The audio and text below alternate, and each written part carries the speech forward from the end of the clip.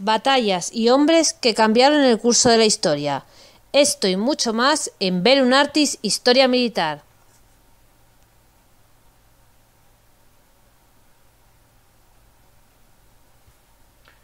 Caballero español, centauro legendario, jinete valeroso y temerario, tu deber y tu honor te lleva al sacrificio, acepta con orgullo este servicio. Ataca con valor a caballo eres fuerte, y lucha cuerpo a cuerpo con la muerte, que si mueres de Dios recibirás la gloria, y los clarines cantarán victoria. Brigada heroica, la patria espera, que tus jinetes defiendan su bandera. Sables bizarros, bravos lanceros, que en el combate lucháis tercos y fieros, Vais a la muerte con alegría, con el galope de la caballería. Un grito pone fin a la hazaña, con nuestro lema, Santiago y cierra España.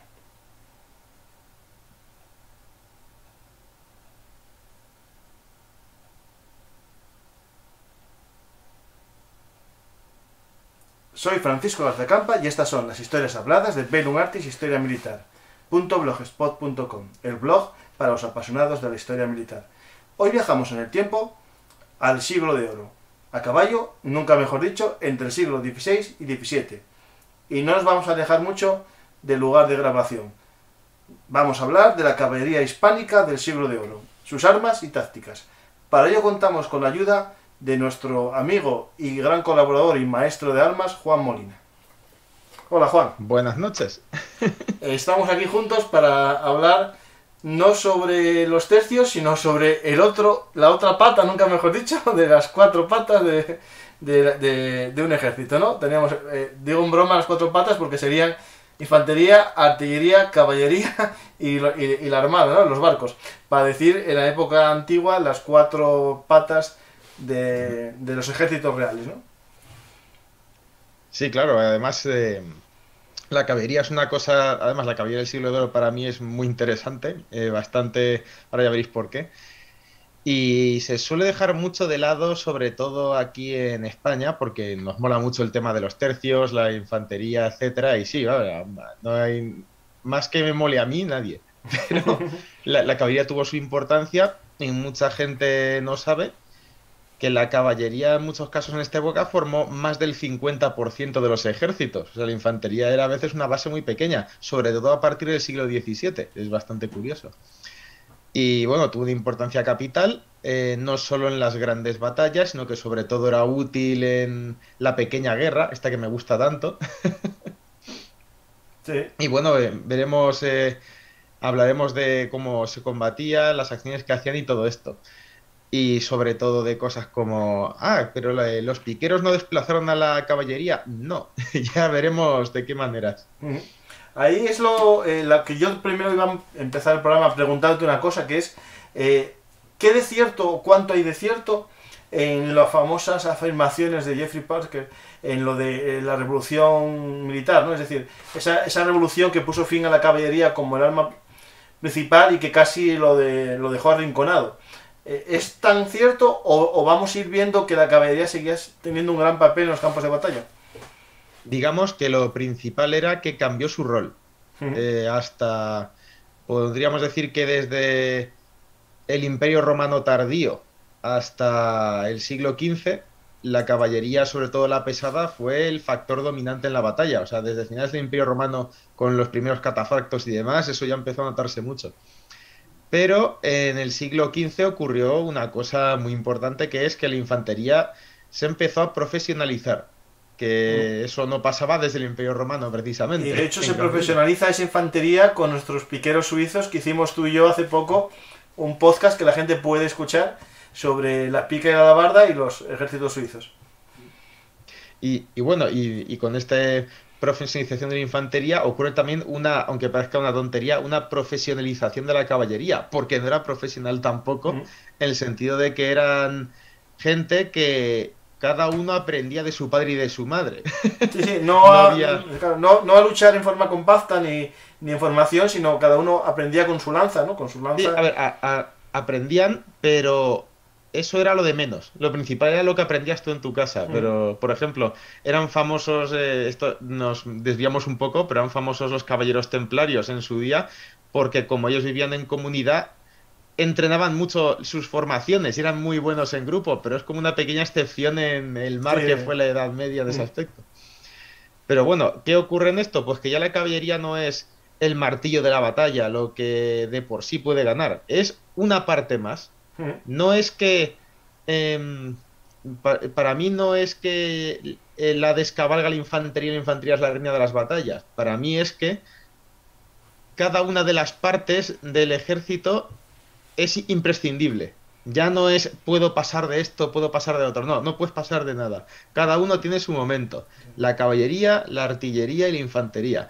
Que la infantería es más preponderante en el 16 pero luego iremos viendo que en el siglo XVII, al contrario, o sea, sobre todo a partir de la de los 30 años, la caballería se hace, como digo muchas veces, superior a la infantería en los ejércitos. Mm. Entre otras cosas porque hace falta menos infantería, pero eso tiene que ver con la estrategia más que la táctica de batalla. Esa, claro, esa guerra de los 30 años, eh, si no recuerdo mal, no meto mucho la pata, en el, en el campo de batalla de la zona del imperio era de gran movilidad, iban moviendo los ejércitos muy rápidamente y era más fácil mover eh, ejércitos de caballería que ejércitos de infantería. Efectivamente, es que al final eh, la infantería se mueve menos. Y hubo un momento en la guerra de los 30 años donde la guerra tiene que ser de movimientos. ¿Y qué se mueve más rápido? Pues caballería. Entonces, también por eso en los campos de batalla se ve más. Es eh, no es que hiciera falta más en el campo de batalla, es que como tenían más, pues metían más. es decir, más.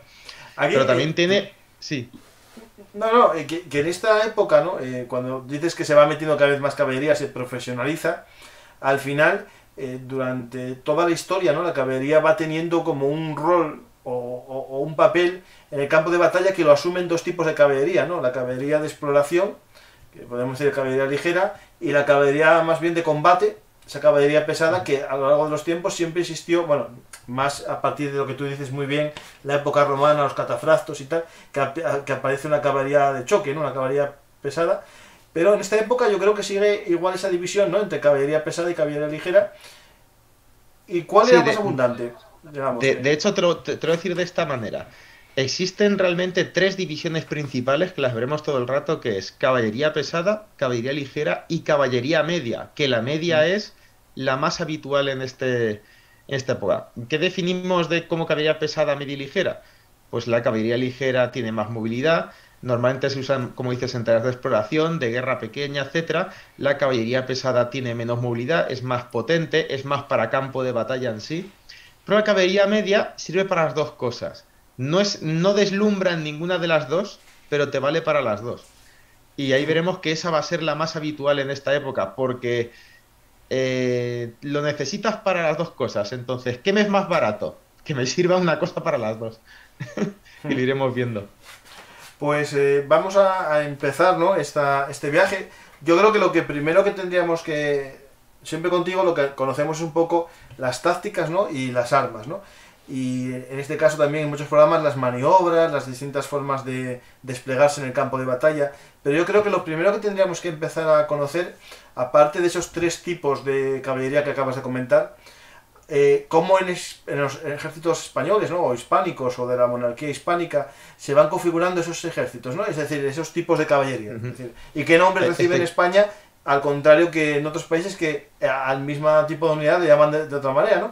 Es decir, los herruelos, por ejemplo. ¿no? Eh, vamos a ir viendo esos tipos y, y vamos a ir comentando un poco el rol que tenía en el campo de batalla y después no sé si ves mejor meter las armas al final o cada vez que expliques un tipo de soldado metemos las armas. Lo, vamos a explicar más o menos conjuntamente. Y además, puede que pasemos de un tipo a otro muy rápido, porque lo que tiene con esto es que los tipos de caballería que voy a explicar, porque vamos a empezar desde la más primitiva hasta la más moderna, según va pasando los años, es que a veces las diferencias entre una y otra hay un momento en que, sabes, ahí no sabes qué es lo uno, lo otro, unas se convierten en otras y tal, y eso también es muy interesante porque se va viendo las necesidades que tenían los ejércitos y por eso la caballería va cambiando. De hecho, el cambio de la caballería a lo largo de los 150 años que vamos a hablar más o menos es muy superior al cambio de la infantería realmente. O sea, la infantería pega un pedazo de cambio muy gordo en el 16 y se mantiene más o menos hasta ya mediados del 17 que pega otro cambiazo, pero la caballería pega cambiazos continuamente en estos 150 años.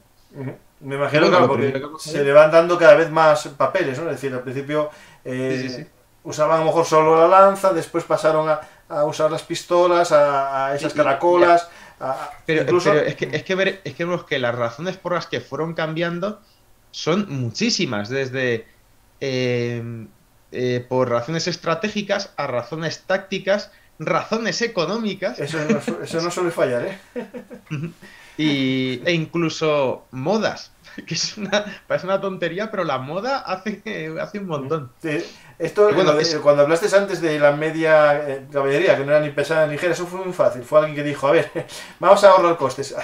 quitamos a la- la- las grebas, quitamos las protecciones de piernas y, solo con coraza ya sois media caballería, caballería media. Sí, pero hay que, hay que entender que esto hablaremos, que la diferencia entre caballería media y pesada no es tanto la armadura que porta el, el jinete, es según el caballo, no, no, el que caballo. tiene. Tiene mucho más que ver el caballo que la armadura. Pero bueno, iremos viendo. Empezamos nuestro primer tipo, que es el más clásico, del que salen la mayoría, que es el hombre de armas. Ah, pues ¿Qué es el hombre de el- armas? El, que todos consideramos el, el, el- el caballero El medieval. caballero medieval. El caballero medieval de toda la vida. Mm. Pues el hombre de armas era eh, fue, eh, pri- por ejemplo, la primera tropa, tropa profesional que tuvo España con las guardas viejas de Castilla, ¿vale? Que eran hombres de armas fundamentalmente, aunque también jinetes, que los veremos ahora. ¿En qué consistía el hombre de armas? Si quieres puedes ir poniendo imágenes eh, de- por aquí. Sí, yo- tranquilo. vean A los que lo están escuchando en podcast, vamos a intentar explicárselo todo. Mm. Y los que están en YouTube pueden di- disfrutar de las imágenes, que muchas de ellas son de un manual, ¿no? Un manual que. De varios. De varios. de hecho. Puedes decirnos para que la sí. gente un poco ya lo sepa y lo quiera buscar. Sí, ahora, el, el- el manual importante ya lo visitamos porque ese cuando hablemos de tácticas y tal, que ese es el interesante. Pero primero empecemos con los hombres de armas. ¿Qué se caracteriza al hombre de armas? El hombre de armas es, primero, tiene que ser un hombre bastante rico, aunque parezca una tontería, porque aunque el Estado financia el arma, la financia medias con el, con el hombre de armas, porque el hombre de armas se le supone un hombre de la nobleza adinerado que puede permitirse al menos dos caballos, una armadura y las armas. ¿Por qué digo esto? Porque el hombre de armas se organizaba en lanzas y una lanza es eh, el hombre de armas y los hombres que la acompañan. Que eso luego se mantuvo, por ejemplo, en Polonia con los húsares alados. Usaban el mismo sistema. Y fíjate ya si es tardío, pero porque ellos lo mantuvieron. Sí, sí. Entonces, el hombre de armas, su principal característica era que llevan eh, un caballo de paseo para llegar hasta la batalla y un caballo pesado, eh, lo que se llama. A ver, eh, que ahora no me sale el nombre. Ahí el palafrán. No, estaba el. El palafrán es el de, el de andar. el, el destral. Destral, el- que es el de guerra, sí. El destrero. Sí, el pues- destrero y el palafrán, que era el otro, sí. Pues el destrero era su caballo principal y el hombre de armas, su objetivo principal era cargar con una lanza de caballería, que es esta típica lanza de caballero que tenemos en mente, poniéndola en, en el ristre, que el ristre era una pieza de la armadura que servía para encajar la lanza y que diera con más fuerza.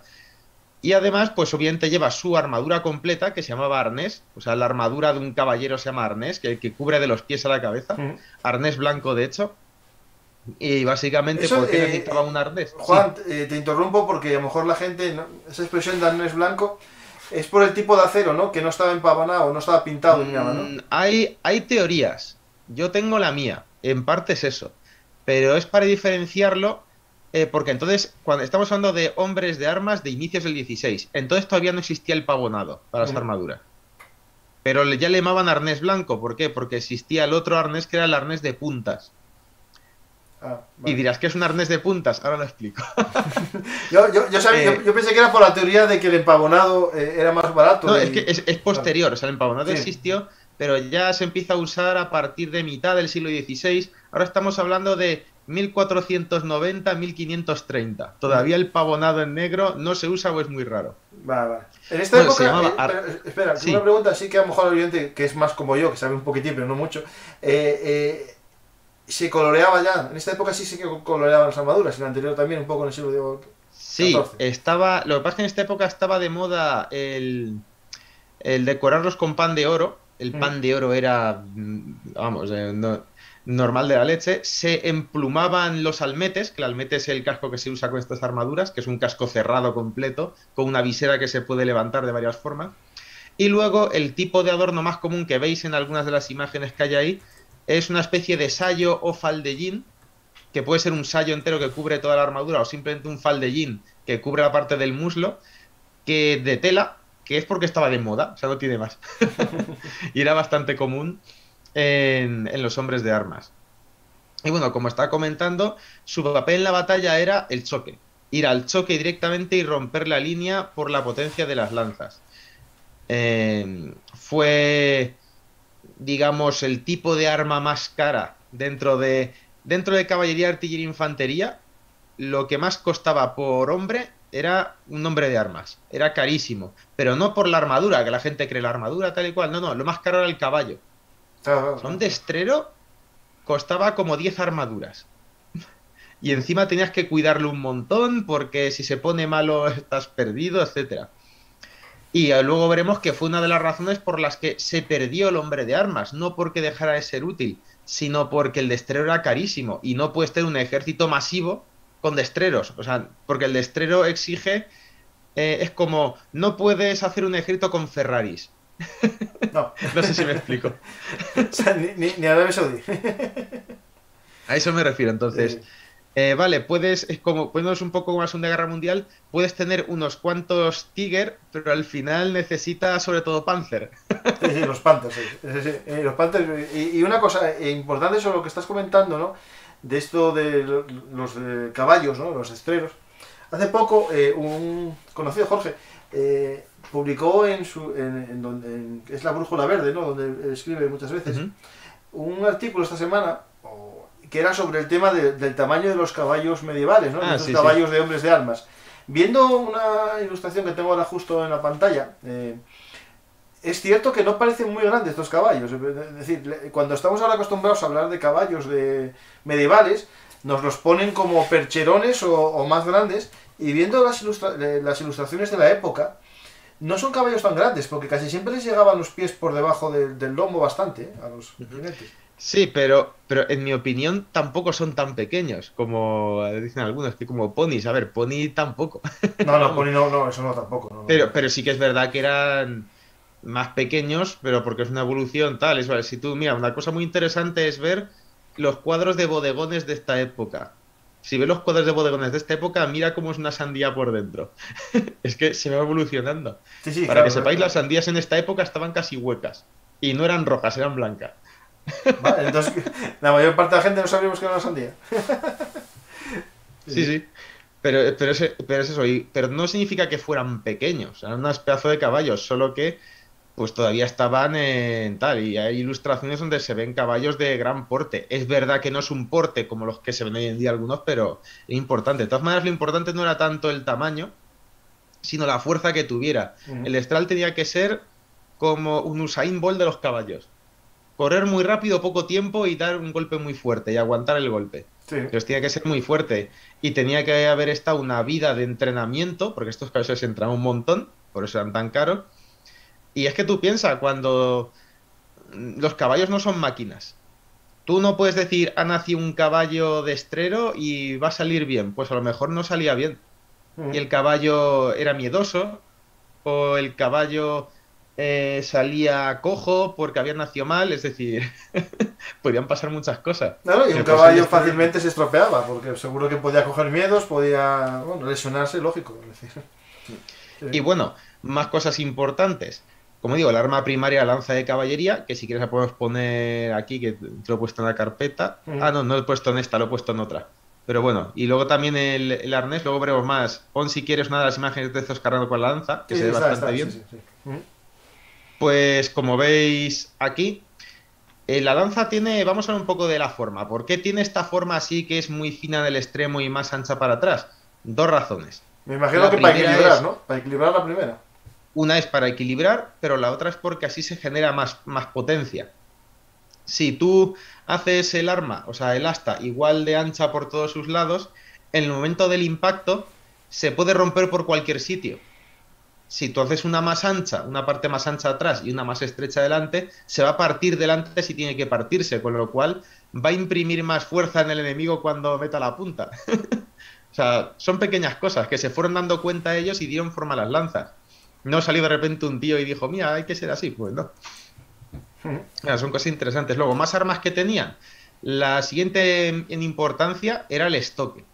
Que el estoque no es una espada que tenemos en mente como la de los tres mosqueteros. No, eso es una ropera, eso es otra cosa. Un estoque era una espada, pues como una espada medieval cualquiera, pero que era mucho más fina y mucho más resistente, muchas veces apenas tenían filo y servía para poder atizar de punta bien. Es como el estoque, el estoque de los toreros, o sea. Sí, eh, pero más largo, digamos. No, más largo, sí, sí, más, tipo casi media lanza, casi, sí, sí. Porque, digamos, ¿cómo se luchaba en este caballo? De manera, con este tipo de caballería, pues se buscaba el choque. Es decir, tú cabalgas una distancia para ganar fuerza e impactar. Si se te rompe la lanza y no tienes otra, tienes que usar otra cosa. Pues el estoque te sirve de esa manera de lanza de repuesto. Eh, no tiene tanto alcance, no tiene tanta fuerza, pero es más manejable y puedes seguir usando la carga que es como tienes que combatir una y otra vez, porque no es como salen las películas que lo veremos más en las tácticas, pero el caballo no carga y ya te metes en la formación y empiezas a pegar tajos a diestro y siniestro y te quedas ahí, no. Lo que se intentaba hacer era golpear con las lanzas, una vez has golpeado, te das la vuelta lo antes posible para salir otra vez por detrás, prepararte de nuevo y cargar de nuevo. Porque una vez que el caballo está quieto pierdes toda tu ventaja. No, no, y, y ahí ya estás muerto porque porque básicamente se te van a lanzar todos los peones a, cogerte y si puedes, si, si, eres un hombre de bien, que seguro que al tener un arnés lo eres, van a sacar tajada, ¿no? Y luego, otras armas que usaban mucho, pues bueno, todo, todo hombre de armas debía llevar su daga, una daga como, como llaman de rodela o de orejas, eran las más comunes, que son dagas eh, finas, largas y muy duras que sirven para colarse entre los bucos de la armadura, pero cuando entraban dos hombres de armas a choque y caían al suelo, por ejemplo, había que intentar acceder a los puntos vitales. Pero bueno, esa como arma de caballería secundaria porque esa la usaríamos más cuando caemos al suelo, digamos. Más armas importantes, pues usaban el martillo de guerra mucho, el hacha de guerra también, la maza de armas y el mangual. Pero curiosamente en esta primera época, en este inicio del siglo XVI, eran más comunes según países. Por ejemplo, Sabemos que en Alemania era más común el martillo de guerra. Sabemos que en Francia gustaba más la maza. Y sabemos que en Italia gustaba más el hacha. ¿Pero qué gustaba más en España? Pues parece ser que tendíamos, aunque parezca una cosa un poco rara, al martillo, mm. al estoque de por silla, y luego salen algunos sitios representar el uso del mangual que el mangual es este palo con una cadena y una bola con pinchos. No sé por qué puñetas, eh, aquí en la península gustaba el mangual, pero la verdad es que si lo piensas, mola que te cagas, así que eso está bien. El que no sepa qué es todo esto que estamos hablando, eh, les le aconsejo que vean dos cosas. El programa que tiene Juan Molina aquí en Belungarti sobre armas raras del siglo de oro, que está en YouTube también y en podcast, y los artículos de él, de Juan Molina, en Belungartis en el blog, en el que tienen ilustraciones y se ven la mayor parte de estas armas que no, tenemos tiempo de ir mostrando, ¿vale? Eh, ojo, cuando, cuando digo que, los, que luego me vendrá alguno más purista, cuando digo que en la península ibérica se usaban, se ven muchas representaciones de manguales, no quiero decir que era el arma más usada. De hecho, sí ha sido un arma rara, el mangual. Pero hay más en la península manguales que en otros sitios. que, salvo quizá Alemania, que en Alemania también salen muchos, pero teníamos esa conexión ahí germánica de alguna manera. Estaba claro que iba a venir el emperador del Sacro Imperio. Eh, y, bueno, digamos, eh, esto, esto empezamos. Luego eh, explicaremos un poco en qué evolucionó esto, porque también vamos a ver el anterior. Ahora, si quieres, hablamos, a menos que tengas una pregunta más, de los jinetes. no, de, los hombres de arma, mira, algo que sí que podemos un poco a, la gente, ¿no? Un poco, que es importante, yo creo, porque al final lo que diferencia en España, ¿no? Un poco nuestra forma de, de de cabalgar y, que dio un poco la fama a España, es la diferencia que existe entre los dos tipos de, de, forma de montar a la silla, ¿no? A la jineta y, el otro que se me acaba de ir el nombre, a la... Con las, sí, eh, con las piernas estiradas. A la brida. A la brida, justo. A la brida es con las piernas estiradas y a la jineta con las rodillas flexionadas, ¿no? Que son las dos formas de montar. En España, porque en los Europa... No, en el resto de Europa no se usaba la, de la jineta porque tiene origen eh, árabe. Es decir, la monta de la jineta es de origen árabe y se mantuvo aquí porque funcionaba muy bien. Es que los que iban de hombre de armas usaban a la brida y los que iban de jinetes iban a la jineta, que es con las piernas flexionadas y demás, que ahora lo veremos. Que el jinete es interesante porque es único en Europa. Eh, si quieres vamos a hablar ya de los jinetes. No, bueno, lo único eso, que diferenciar un poco que, que en España cuando hablamos de jinetes, porque va a la brida, a, a, perdón, a la jineta, y cuando hablamos de hombre de armas, normalmente suele ir eh, con, con, las piernas a la, a la brida. Eh, no, normalmente no, eh, es que tienen que ir a la brida. Sí, para, para cargar, si no, sí, sí, sí, sí, Claro, porque si no, no puedes, eh, digamos, si veis en la imagen aquí que hay algunos hombres de armas, están encajados en la silla. Si no están encajados en la silla, corren el peligro de que al dar en el otro salen disparados del sí. caballo. No, eh, lo dije esto de normalmente, eh, explico el porqué. Eh, es verdad que en, que en, Europa ¿no? era así, no hay duda ninguna, ¿no? Pero cuando hablamos a lo mejor de, de, de, de los ejércitos hispánicos en América, se mezcla todo mucho, ¿no? Es decir, sí. a lo mejor eh, se solía ir más a, a la jineta, pero se, se, iba a veces con el arnés completo, a lo mejor de Cortés en alguna batalla, y no creo que fuese la brida, a lo mejor iba a la jineta con armadura completa, o, o sí, cosas así que mezcladas que no eran... Eh, es que eso iba a ir, es que los que ahora cuando hablemos de los jinetes, los jinetes que iban a la jineta, que eran caballería ligera, eran caballería ligera, pero llevaban una armadura pesada. Mm. Es decir, no... Por eso digo que cuando hablamos de caballería ligera o pesada hay que ver más el caballo que llevan y su rol en la batalla que el equipo. Que el equipo también está, pero es que es relativo. No, eso lo quería decir por eso, porque mucha gente suele considerar que es pesado el que va a la armadura completa, cuando realmente es más bien eh, la táctica y el uso, ¿no? Es decir, eso en Roma, por ejemplo, se hablaba de, de infantería ligera e infantería pesada, más bien por, por, la forma de combate más que por la armadura. Es decir, un infante ligero iba a, eh, a, lo mejor con el mismo tipo de armadura, pero eh, estaba más bien para eh, atacar y retroceder, ¿no? Mientras que el, el, infante pesado se quedaba quieto, ¿no? Es decir, es más el, el tema de, de, la forma de combate, ¿no?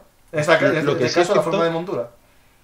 Lo que sí es cierto es que parece que los jinetes, que así ya vamos hablando un poco de los jinetes y podemos hablar de los dos, mirando las diferencias, el jinete como equipo eh, solía llevar en lugar de peto y espaldar, llevaba una brigantina y luego también llevaba un casco abierto para poder ver mejor, dado que al necesitar más control del caballo necesita mejor visibilidad, no va a cargar de frente. Entonces, la principal diferencia en equipo frente al jinete y el hombre de armas es que el jinete lleva un casco abierto, que usualmente era una celada abierta o bien un capacete, y luego en el, de, en el pecho llevaba una brigantina. Una brigantina es una coraza, pero que en vez de estar hecha de piezas grandes y rígidas, está hecha de piececitas más pequeñas que se encajan, ¿vale? Formando como una especie de peto articulado, pero que es casi igual de fuerte que el otro. Mm. Es verdad que un poco menos fuerte, pero casi igual de fuerte. Y de ahí viene lo que he dicho antes. Esa es la diferencia entre el arnés blanco y el arnés de puntas. El arnés de puntas es un arnés con una brigantina. Ah, vale, vale, vale. Vale. Entonces, por, si, por, eso, si ves en los en las ordenanzas de los reyes católicos dicen y que los hombres de armas lleven un arnés que no sea de puntas. Es justo, yo Porque... creo que, que, la ilustración que tengo ahí más o menos de, de, de, de aquí al lado justo nuestro eh, lleva una brigantina, si no, recuerdo, eh, no, veo mal, es un, un, conquistador con una brigantina, es decir, para que lo vea la gente, que es como una especie de chaleco con tachuelas que sujetan las placas, es decir, básicamente que van dentro del forro, ¿no?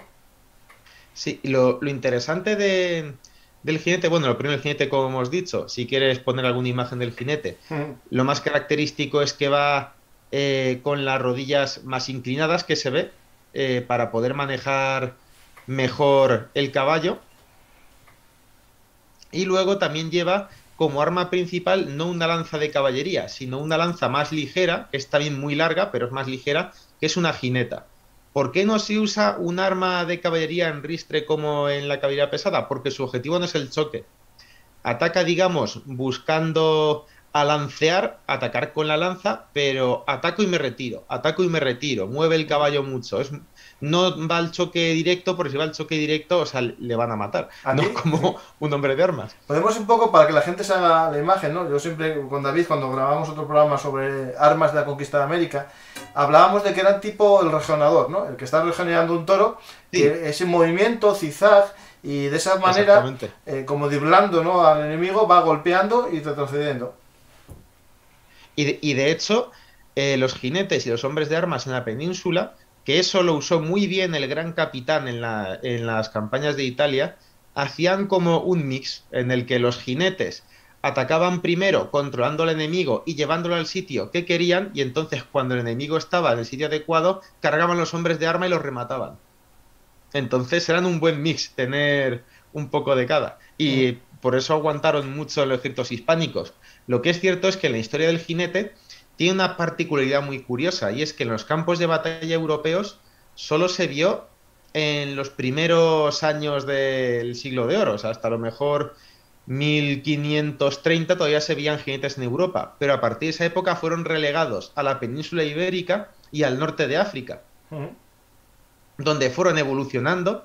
Ahora veremos de qué maneras, eh, pero ya no se usaba en Europa, porque la forma de combatir en Europa no daba pie al uso de los jinetes como se hacía la usanza eh, castellana y andalusí, que es donde venía más. Eh, desde que me imagino cuando los demás ejércitos comenzaron a luchar en, el, escuadrón cerrado de picas, la forma de combate del jinete ya no tenía sentido.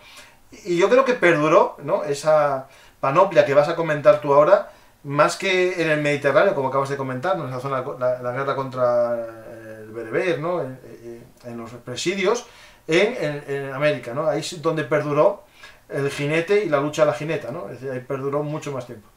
te digo, en el norte de África perduró también mientras hubo españoles en el norte de África, digamos. Sí, porque bueno, combatían contra vosotros que luchaban igual, claro. Sí. Sí, exactamente. De hecho, si verás, te deja una imagen ahí que pone Batalla al norte de África 1570, que ahí se ve ejemplo de los jinetes evolucionados. ¿Por qué digo jinetes evolucionados? Porque si antes hemos hablado de que los jinetes eh, se caracterizaban porque llevaban eh, pues una armadura distinta, eh, llevaban la adarga, que no hemos hablado, que la adarga es el arma más característica del jinete, que es un escudo de forma ovalada, que aquí lo vemos en esta imagen que llevan esos de ahí, que es un, un escudo de origen musulmán, pero que funcionaba muy bien. Y tú dirás, ¿qué evolución vemos ahí? Pues aparte de la ropa, que es ropa ya de 1570, pero vemos que no llevan lanzas jinetas estos jinetes, ya llevan lanzas eh, lanzas de caballería. Son muy largas, sí, sí. esas, lanzas, la verdad, que no son para la lucha de la jineta, son para arrastrar. Eh, exacto, y eso es porque Felipe II, porque esta es la época de Felipe II, eh, hizo una ordenanza, más o menos ahí en, en los años 60-70 del siglo XVI, por el cual las unidades de jinetes debían cambiar lanza jineta por lanza de caballería normal para atacar un poco más pesadamente. Y de hecho, eh, los jinetes en esta época cambiaron su armadura normal, que era la brigantina, parece que empezaron a usar más corazas rígidas. Es decir, se hicieron más pesados, se convirtieron los jinetes de caballería ligera, que eran antes, a caballería media. Pero mantuvieron todavía las adargas. Em, es una decisión que me parece bastante curiosa, porque lo que nos está diciendo es que de alguna manera esa forma de combatir pura del siglo XV eh, estaba pasando, pero no dejaba de ser útil del todo, porque por ejemplo mantenían la darga, como vemos en esta imagen, y como veis esta es una batalla al norte de África, donde están protegiendo a un grupo de arcabuceros, básicamente. Eh, aquí, Juan, eh, cuando hablamos de, del norte de África, entiendo que la darga, la darga, que es ese escudo de origen andalusí, ¿no? De, cuero, ¿no? De, eh, tiene su lógica porque la mayor parte de los proyectiles de los bereberes solían ser flechas, ¿no? Como es algo que en Lepanto se vio también. Ahí entiendo que todavía existe este tipo de escudo, ¿no? Eh, al igual que en América. Pero claro, en el continente, en Europa, ¿no? En las luchas continentales, el, mosquete y el arcabuz eran los reyes y ya no tiene sentido esa protección porque no protegía, ¿no? Pero, pero fíjate en el detalle de esta imagen, porque vemos ahí en medio a esos jinetes eh, equipados a la moderna, pero si te fijas, encima de ellos tenemos a, como parecen hombres de armas, que son la siguiente evolución que veremos, que son los caballos lanza, que sí que van vestidos más pesadamente. Nada, esos van vestidos con, no, digo con arnés, pero van con la armadura completa, sí. Mm. Con lo cual aquí nos está diciendo que todavía había una diferencia en las dos caballerías, aunque ya su armamento era más parecido. Tenían que existir las dos en ese orden. Que por cierto, esa forma de hacerse más pesada eh, la caballería andalusí también se transformó en Europa, porque en Europa se dejan de usar jinetes, pero apareció una caballería que duró pocos años, que se llamaban celadas, que ahí hemos puesto también, que si quieres poner alguna imagen. ¿De celada? ¿Pero qué está? ¿En otro sitio Sí. o qué? Sí, sí, en otra carpeta, que es otro tipo de... Aquí he puesto pocas, pero para que veas más o menos cómo era. Una celada que existía también en otras naciones europeas, es lo que llaman en otras naciones un demi-lancer. ¿Qué es un demi-lancer? O Digo, a una la gente celada. que lo está escuchando es que, es lo que, que vean el cuadro de Carlos V en la batalla de Mulver, ¿no? Que es, que es lo que está Sí, porque hay, hay- hay Carlos V va vestido de celada. ¿Qué es, un, qué es un celada? Un celada era una cosa intermedia entre el, orme- el hombre de armas y el jinete. Es como más pesado que el jinete tradicional, pero no llega a ser hombre de armas. Pero tampoco lleva las armas del jinete, pero tampoco la del hombre de armas. El celada, como veis, en el- ese- va exactamente como va aquí Carlos V en la batalla de Milberg. Y, va- Lleva y- y- y van con la, eh, sentados a la riestra. No, no van Sí, iban, iban a la. iban a la sentados brida, a, sí, sí, a la brida. la a la brida. brida. Sí, sí, perdona. Iban sentados, iban sentados a la brida. Pero llevaban una celada abierta, como es aquí, de ahí el nombre de celadas, porque iban con la celada abierta, y llevaban una lanza ligera.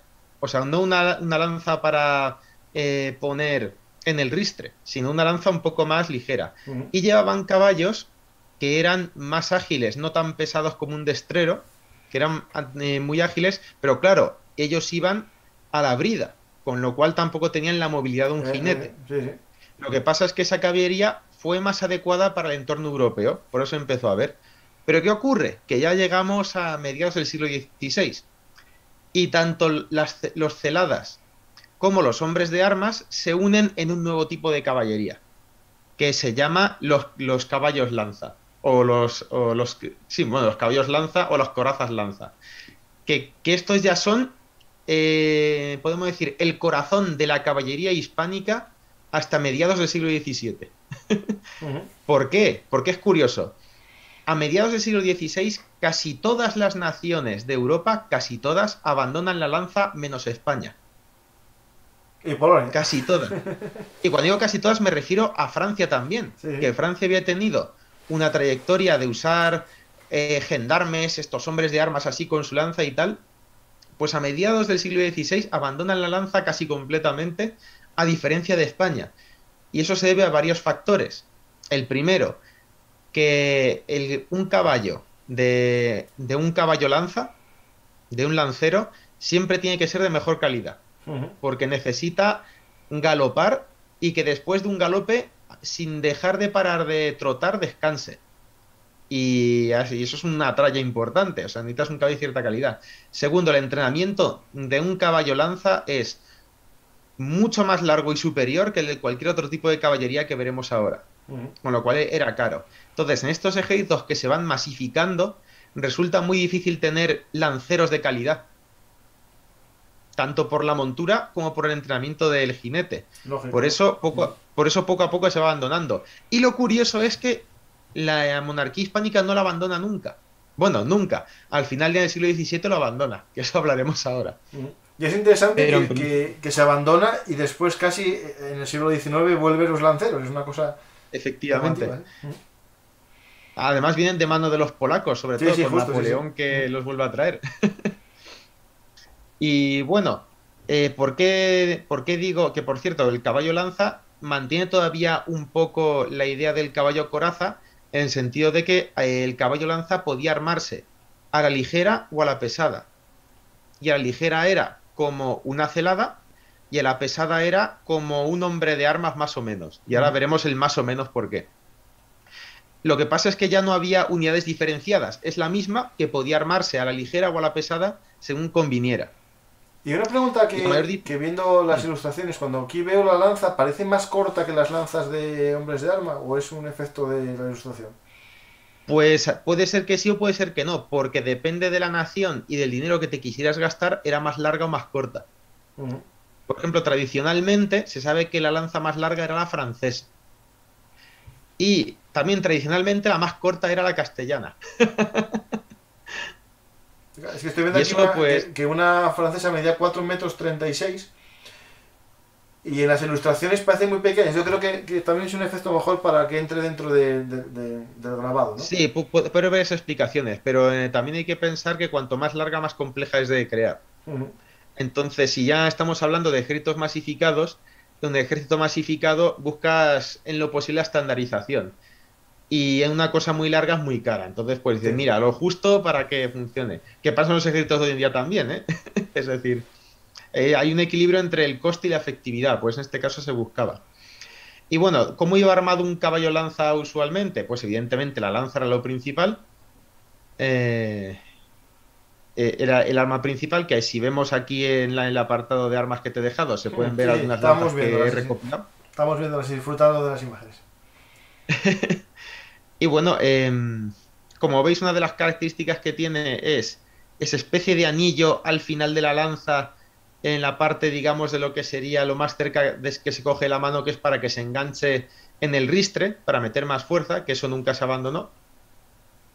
Que es como un anillo que está unido ahí. Y bueno, luego ahí se ven varias puntas y tal. Y bueno, lo, en, en cuanto al equipo defensivo, que es la armadura, lo más importante es que en esta época se pierden las piernas armadas. Y esto se debe a varias razones. La primera, que no te atacaban tanto ahí. Entonces, si no te, si no te atacan tanto ahí, pues no hace falta llevarlo. Me refiero, cuando digo piernas armadas, es de rodilla para abajo, porque de rodilla para arriba todavía se protegía. Ah, vale, vale, porque estoy viendo de rodillas para arriba, estaban casi todos, sí, sí. Sí, sí, de- es de rodilla para abajo. De hecho, lo que suele pasar en las armaduras del caballo lanza a partir de ya mm, el siglo, bueno, de 1550-60, es que eh, se ponen escarcelas en lugar de quijotes, que los quijotes son piezas que van en el muslo, pero las escarcelas van desde la cintura hasta la rodilla. Ujú. Y eso se hace así pues porque resulta más práctico. La armadura se puede poner antes. Va en una sola pieza, digamos. No necesitas gente alrededor para que te esté montando. Luego, además, ¿por qué se pierde esa pieza armadura de rodilla para abajo? Porque se nota más al caballo con las piernas así. Entonces tienes Mm. más control del caballo. ¿Cuál es otra razón también? De hecho, hay peso. aquí un, un grabado de Durero en el que no es que no lleva ni bota el jinete, va con la pierna, la pantorrilla al aire. Sí, es que este ya es el final del siglo XV, pero es que es un buen ejemplo de cómo se empieza a poner de moda así, porque realmente ponerte de rodilla para abajo la armadura solo te sirve si te vas a meter de lleno en la formación, que a, A esa cargar. altura pues te pueden pegar espadazos, hachazos, etcétera. Si tu objetivo es, como te he dicho, que es lo que buscaban, cargar y salir escopetados para atrás, mm, si te metes dentro has hecho algo mal. Sí, Y no Te dicen, pues, esa pieza fuera. Y luego otra razón por la que se quita es para ahorrar peso y ponerlo en otro sitio. ¿Por qué? Porque en esta época la armadura tiene ya que proteger de disparos. Claro. Cuando tiene que proteger de disparos, tienes que hacer partes de la armadura más importantes, pues más anchas. Por ejemplo, el peto, a lo mejor el peto podía llegar a ser de 4 o 5 milímetros de espesor.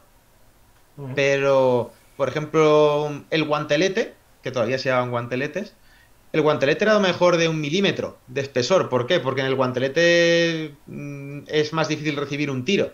Sí. Y el peso se va repartiendo de manera distinta. Y las piezas más gruesas son el almete, que es el casco que protege la cabeza, y el peto, que es lo que ofrece más al enemigo y el brazo armado, el guantelete, las escarcelas, pues suelen ser más finos.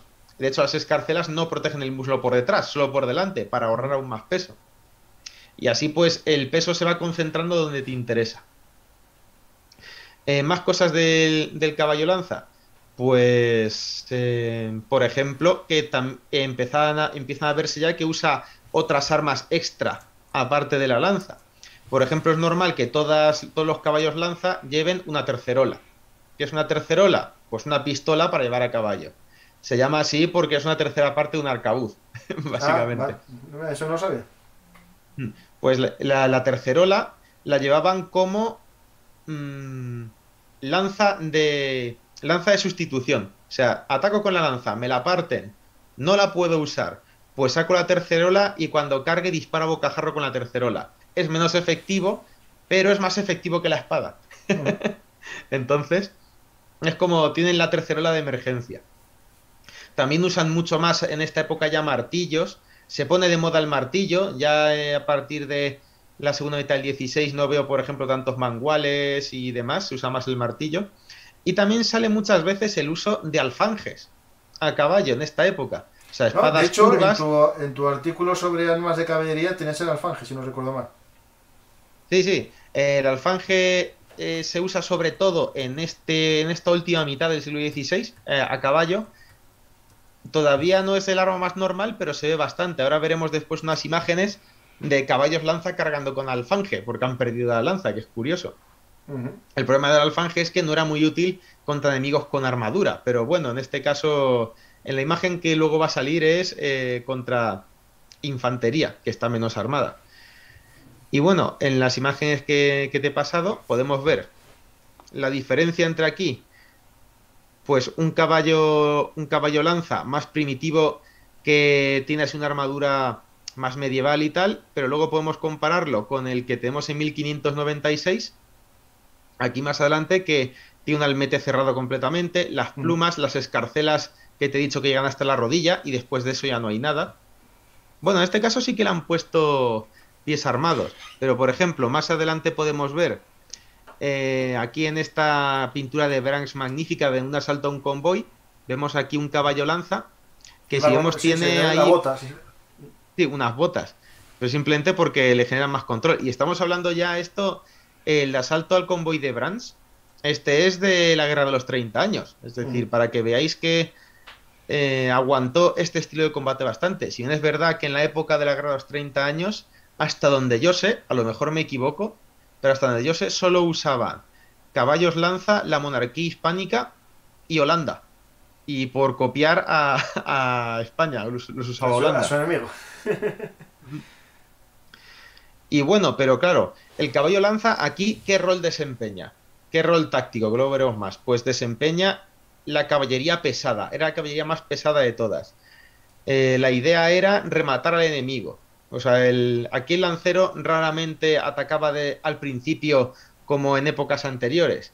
Entonces, ¿qué otras caballerías tenemos? Pues aquí te he puesto una que se llama, de Sebastian Branks también, Kriegsville, que este es para mí de los más chulos porque te dice todos los tipos de tropa básicos que había en esta época. Sí, es un buen resumen o portada de un libro, sí. Exacto. Pues aquí vemos los tres tipos de caballería que aguantaron estos 150 años sobre todo, que hablaremos del resto. Tenemos aquí a nuestro caballo lanza en el centro, pero a la derecha tenemos al, al- al caballo coraza, que los alemanes llamaban Reiter, y al otro lado tenemos el arcabucero a caballo. ¿El, lo- herru- el lo- herruelo, ¿El herruelo no es el Reiter también o es otro término distinto? Mm, Yo ahora mismo eso lo tengo en duda. Vale, porque yo Porque es suena que muchas veces se hablaba de que era lo mismo, pero...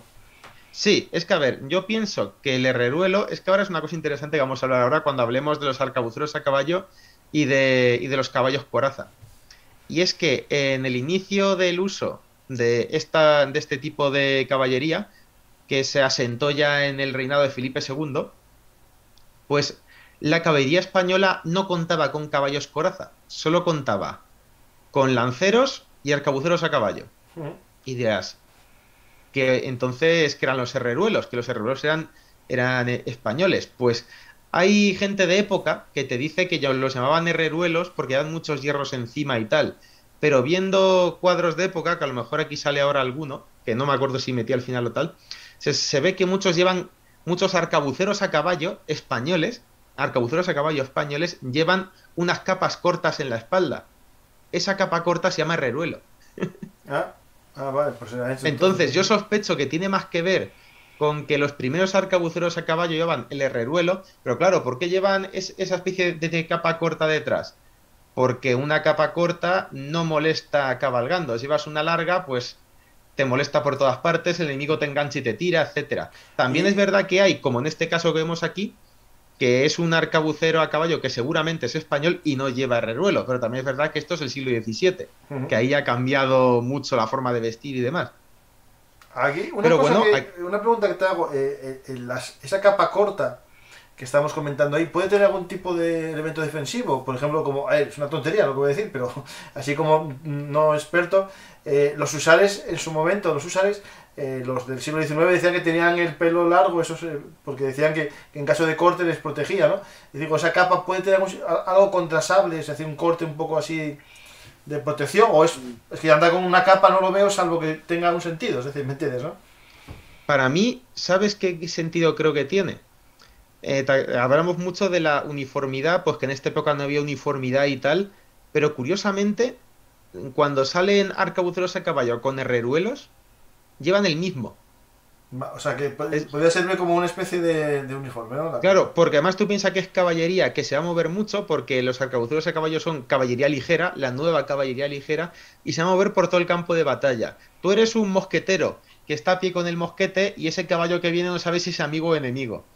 Pero entonces, ah, mira, lleva eso a las espaldas de los nuestros, no le disparo. Piensa que, que, eh, la caballería ligera se movía más.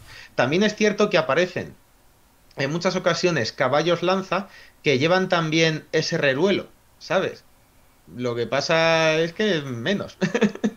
Mm. Pero parece que eso era muy de la caballería española, el llevar esa especie de capa corta detrás, que además suele llevar una cruz, eh, eso era muy de españoles en la segunda mitad del 16. Ya cuando llega la última década del 16 y el inicio del 17, ya las representaciones que veo se han perdido completamente. Eh, También hay que ver hasta qué punto esas representaciones que ven el herreruelo son representaciones que buscan enseñar cómo es la batalla realmente o los ponen como salen en desfiles, que también se hacían desfiles. y en los desfiles iban más de bonito, ¿sabes? Eh, estoy contando un par de de ilustraciones, eh, tú no las viste, no son tuyas, eh, una es de este, eh, de eh, Villegas, uno, uno, que hace láminas del siglo XIX y aparecen esas capas que, tú comentas de reruelo, después las ves y miras a ver si son correctas, pero digo un poco para que la gente se haga la idea de esa capa, como sería, ¿vale? Sí, luego también, bueno, sí. Y ya que hemos hablado del lancero, que más o menos hemos hecho una idea de qué es el caballo lanza, vamos a hablar del otro, la otra unidad de caballería española de esta época, que es el arcabucero a caballo. Porque, ¿cómo surge el arcabucero a caballo? ¿Qué es un arcabucero a caballo? Que además las imágenes que he puesto, algunas bastante chulas, como el arcabucero a caballo que lleva una capa de lluvia, que se me encanta. pues el arcabucero a caballo, como su nombre indica, es un hombre armado con un arcabuz que lucha a caballo con él. ¿Vale? Eh, ¿Qué ocurre? Que al principio se concibió como infantería montada, pero al poco se vio que era más útil que no desmontara. Eso no implica que no siguiera usándose desmontado. De hecho, aquí tengo una imagen de arcabuceros a caballo luchando a pie. Pero, ahí, ya serían, ahí, ya serían, ahí es una pregunta que te hago. ¿Ya serían dragones o todavía no? No, porque es que luego vemos que como ya se usaba el arcabucero a caballo, siempre a caballo, tuvieron que inventar los dragones para que fuera de infantería montada que lucharan a pie. O sea, estos empezaron a, no bajar del caballo, ¿no? Exacto, es como, como los arcabuceros a caballo eran más útiles a caballo, pues todavía necesitaban infantería montada. Entonces crearon los dragones. Pero los dragones, luego veremos, no es una unidad. Son mosqueteros de un tercio que les dice el capitán, tú, tú y tú, coges un caballo e iros con esto. Vale. O sea, que, eran, transportados a caballo. Sí, pero les daban los jamelgos los más malos que tenían a los dragones y porque eran para desplazarse. El arcabucero sí que tenía. El, arcabucero a caballo sí que tenía un caballo decente. Era peor que el del lancero, pero era decente, porque sigue siendo caballería ligera y tienes que poder moverte bien. Características interesantes. Al principio los arcabuceros a caballo solo llevaban un, casco de protección, salvo oficial que llevaba también coraza, además del casco. Pero ya en el siglo XVII el arcabucero a caballo pierde completamente el casco y solo lleva el famoso eh, sombrero este de la ancha. Pero ¿por qué perdió el casco el arcabucero a caballo? Muy simple, porque dejó de luchar a pie. El casco era porque cuando descabalgaban del caballo, pues había más peligro de ataque, entonces pues tenían esa protección mínima. Cuando ya no descabalgaban del caballo, los cascos, eh, por ejemplo, el morrión, si no recuerdo mal, está pensado para proteger de golpes que vengan de arriba, ¿no? Es decir, de golpes que te vengan de un caballo. Sí. Y de hecho, si ves la imagen esta que pongo de arcabucero a caballo español de 1572, lleva un morrión. Sí, sí. Que, que básicamente es como iban, en, digamos, en la época dorada de esta caballería española, es esa 1572. Y se intentaba siempre en los ejércitos hispánicos que hubiera como mitad y mitad de arcabuceros a caballo y de caballos lanza. Una pregunta, esto que estoy viendo aquí, este arcabucero español de 1572, eh, la camisa así, digamos, como la lleva, es parecido a la forma posterior de los usuarios, ¿no? De, origen eh, húngaro de llevar la chaquetilla, ¿no? Es decir, sí, te decía yo, de, esa chaqueta que llevaban ellos y esta forma que están llevando, a mí me parece que es una forma un poco de protección también, porque cuanta más te la metas por ahí atrás, mejor, ¿no? Mm, no, eso es una moda de la época, que era la moda de las mangas bobas. Que esas mangas así que se quedaban así después, fuera descolgadas eran mangas bobas. Ah, es una manga boba normal, vale, vale, pensé que, este, vale, sí. Sí, Que, que, se podían usar eh, esas mangas así sueltas o se podían usar de mangas cuando hacía más frío. Eh, ¿Por qué se dejaban colgando también? Pues porque esa manga te daba, estabas un poco más constreñido. Entonces, si tienes como vertical, pues mira, se deja colgando y mm. tal. Que de eso en esta época mangas desmontables sí que se pueden poner varias formas, hay muchas. Es bastante curiosa la moda. Es el, origen del chaleco. España. Hmm. Luego, una que me gusta mucho de estas es la del arcabucero a caballo, que este es español, que lo pone Equus Hispanis, con la capa de a prueba de lluvia, que para ellos era muy importante porque si les llovía no podían usar el arcabuz. Entonces tenían que ocultarlo bien. Que además ves ahí esa capa y dices, ¿Eso era una capa española? Pues sí, era una capa española para un hombre a caballo. Sí, parece japonés o así. Eh, esto, ¿Pero qué es rígida? ¿Tiene algún elemento rígido para que haga como de paraguas o es...? No, lo que pasa es que eh, la forma esa extraña de la capucha es porque debajo tiene que caber el casco. Vale, vale. Pues, no, es rígido, ¿no? No es que sea rígido, pues que parece que...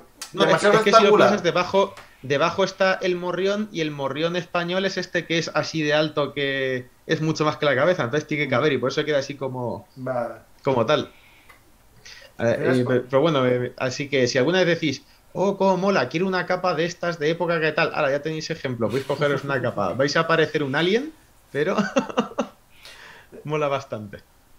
De hecho, es a la que yo eh, había encontrado, eh, si la encuentro también, la que yo dije que había encontrado, pero no, al final no, no, pude, no me da descargo. Y bueno, más cosas. Eh, ¿Cuál era el rol este que tenían los arcabuceros a caballo? Pues sobre todo labores de caballería ligera, exploración, ¿vale? En el, en el, tema estratégico eran los más útiles porque podían eh, proteger caravanas con mucha facilidad, podían eh, hacer reconocimientos, ataques por sorpresa, etcétera. Y en batalla campal eran los que abrían el combate en la caballería. Iban primero disparaban, normalmente haciendo la caracola, la famosa caracola que ahora veremos cómo se hacía, y, y digamos que iban tácticamente muy unidos con los, con los caballos coraza y los caballos lanza, que ahora veremos, no iban a su bola. Y bueno, ¿qué, armas utilizaban? Pues el principal era el, arcabuz, el arcabuz de rueda, pero el arcabuz de rueda a partir de la segunda mitad del 16. En la primera mitad que había arcabuceros a caballo, se sabe que la mayoría llevan todavía arcabuz de mecha. Que toda, para mí es un, un misterio cómo se, las ingeniaban para que no se apagase la mecha si vas con el caballo a toda leche. ya, sí, sí, sí. me imagino que, todavía... que, debajo de la capa esa, que la llaman los, los que están en el directo, la cafetera, eh, podían meter ahí la, mecha. Sí, había varios trucos. Uno muy famoso era meter la mecha en un canuto hecho con una caña y así, digamos, estaba protegida, había varias formas. Pero bueno, eh, más cosas. Eh, los que podían, eh, se hacía un arcabuz de rueda, porque el sistema de rueda es un sistema como que en lugar de necesitar mecha, es una rueda que es como un muelle, ¿vale?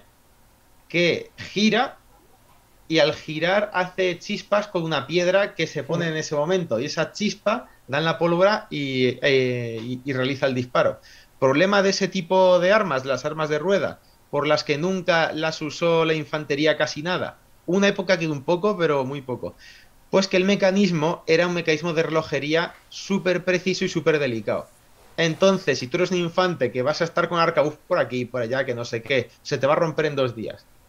En caballería se usaba más porque era más conveniente y era más difícil pues que ahí se te estropeara el arcabuz, porque ibas a ir a caballo, quieras que no, eso es menos doloso en las marchas y demás. Mm. Entonces pues usaba más. Eh, más cosas. Vamos ahora a lo que es la, el caballo más común en toda esta época. Es el caballo coraza, que es el que vamos a ver en todas partes.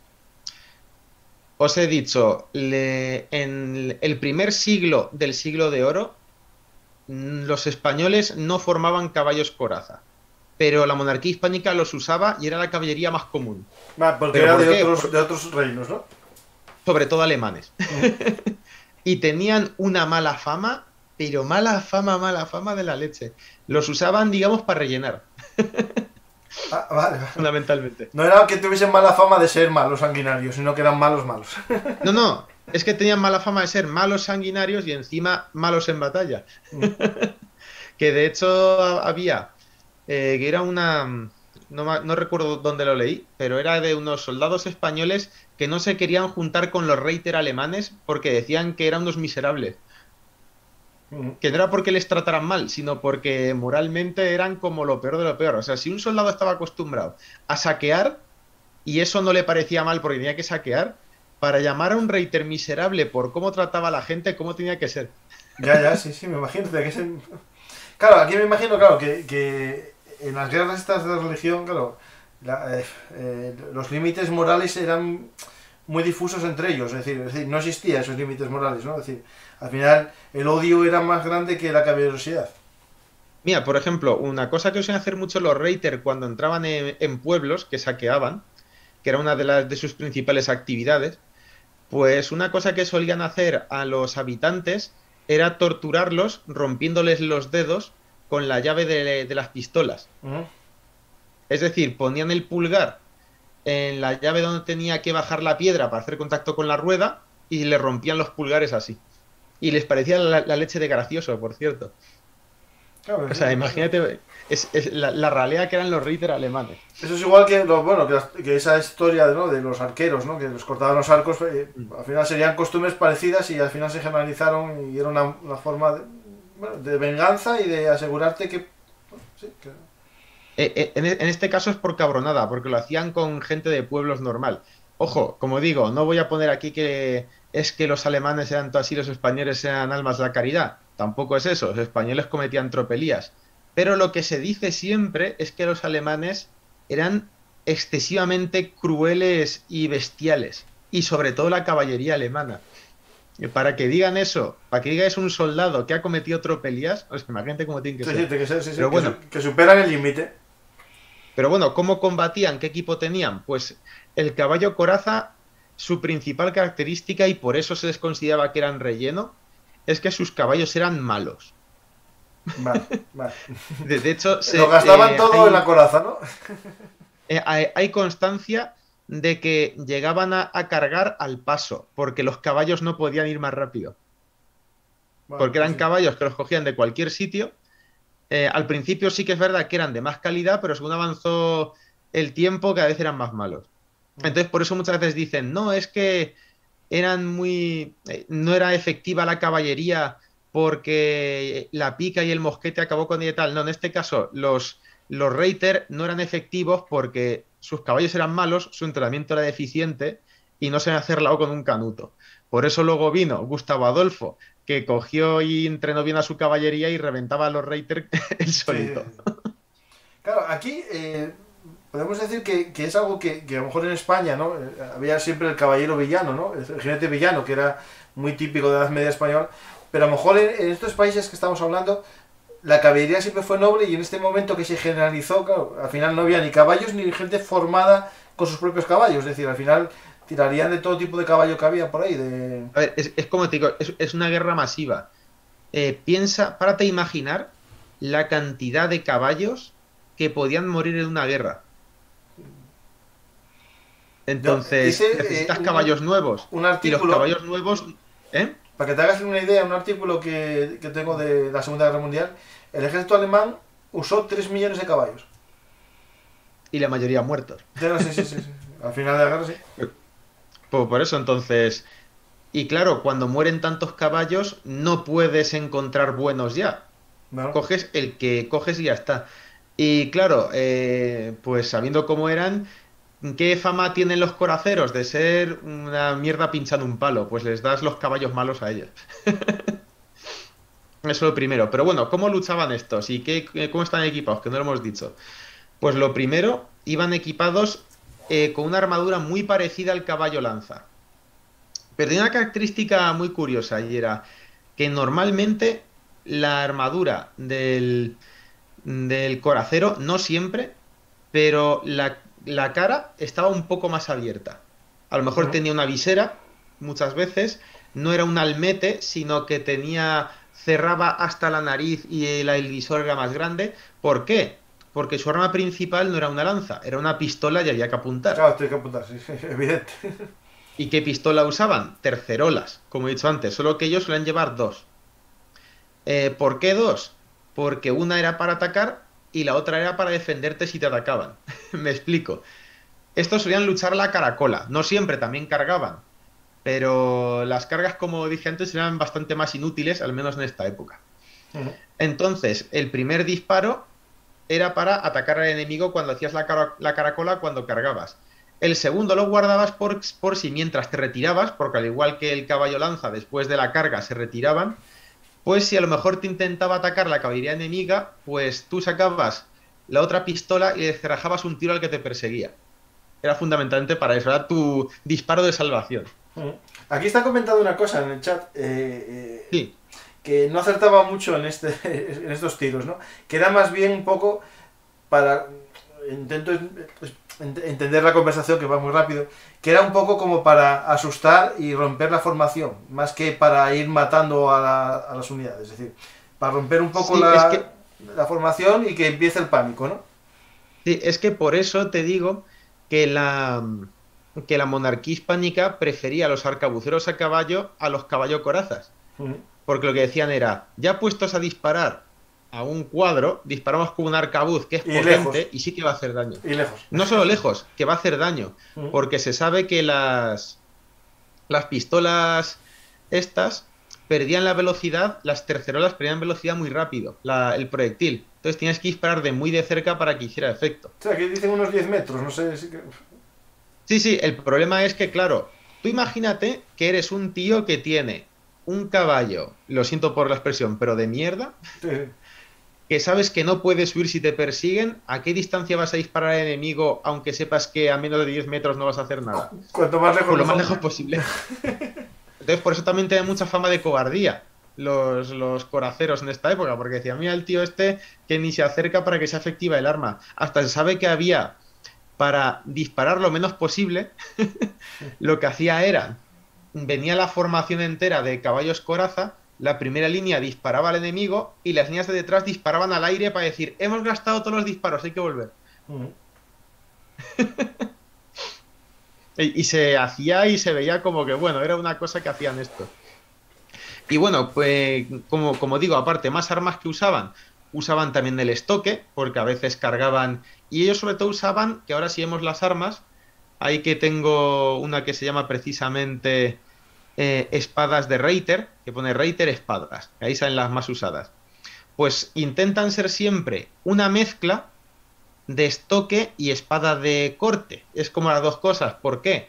Porque necesita un arma que sea buena atajando, pero también que se puede usar para cargar en caso de que me haya, me haya quedado sin pistolas y tenga que volver a hacer una carga, que se pueda poner en el ristre, como si fuera una lanza. Entonces era bastante habitual eso.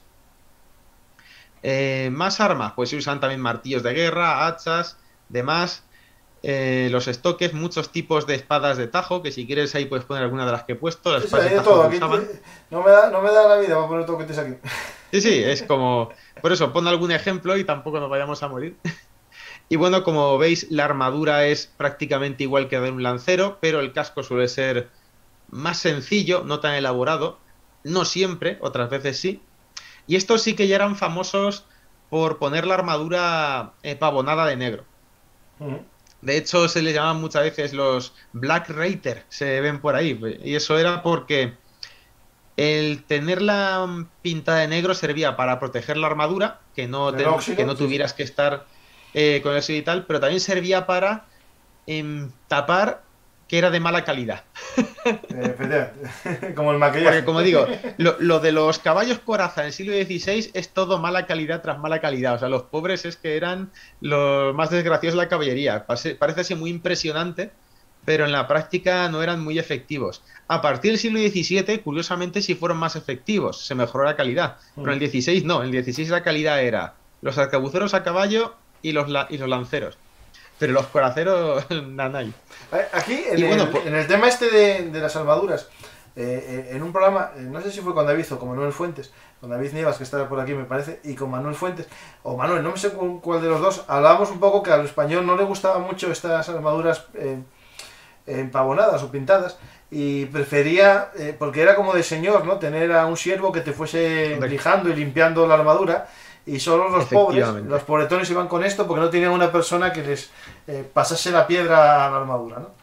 Pero mira, en esta época ya, porque estamos hablando del reino de Felipe II, en esta época solo llevaban armaduras pavonadas los muy pobres o los muy ricos. Bueno, pero, pero iban pavonadas muy distintas, me imagino, los materiales. Exactamente.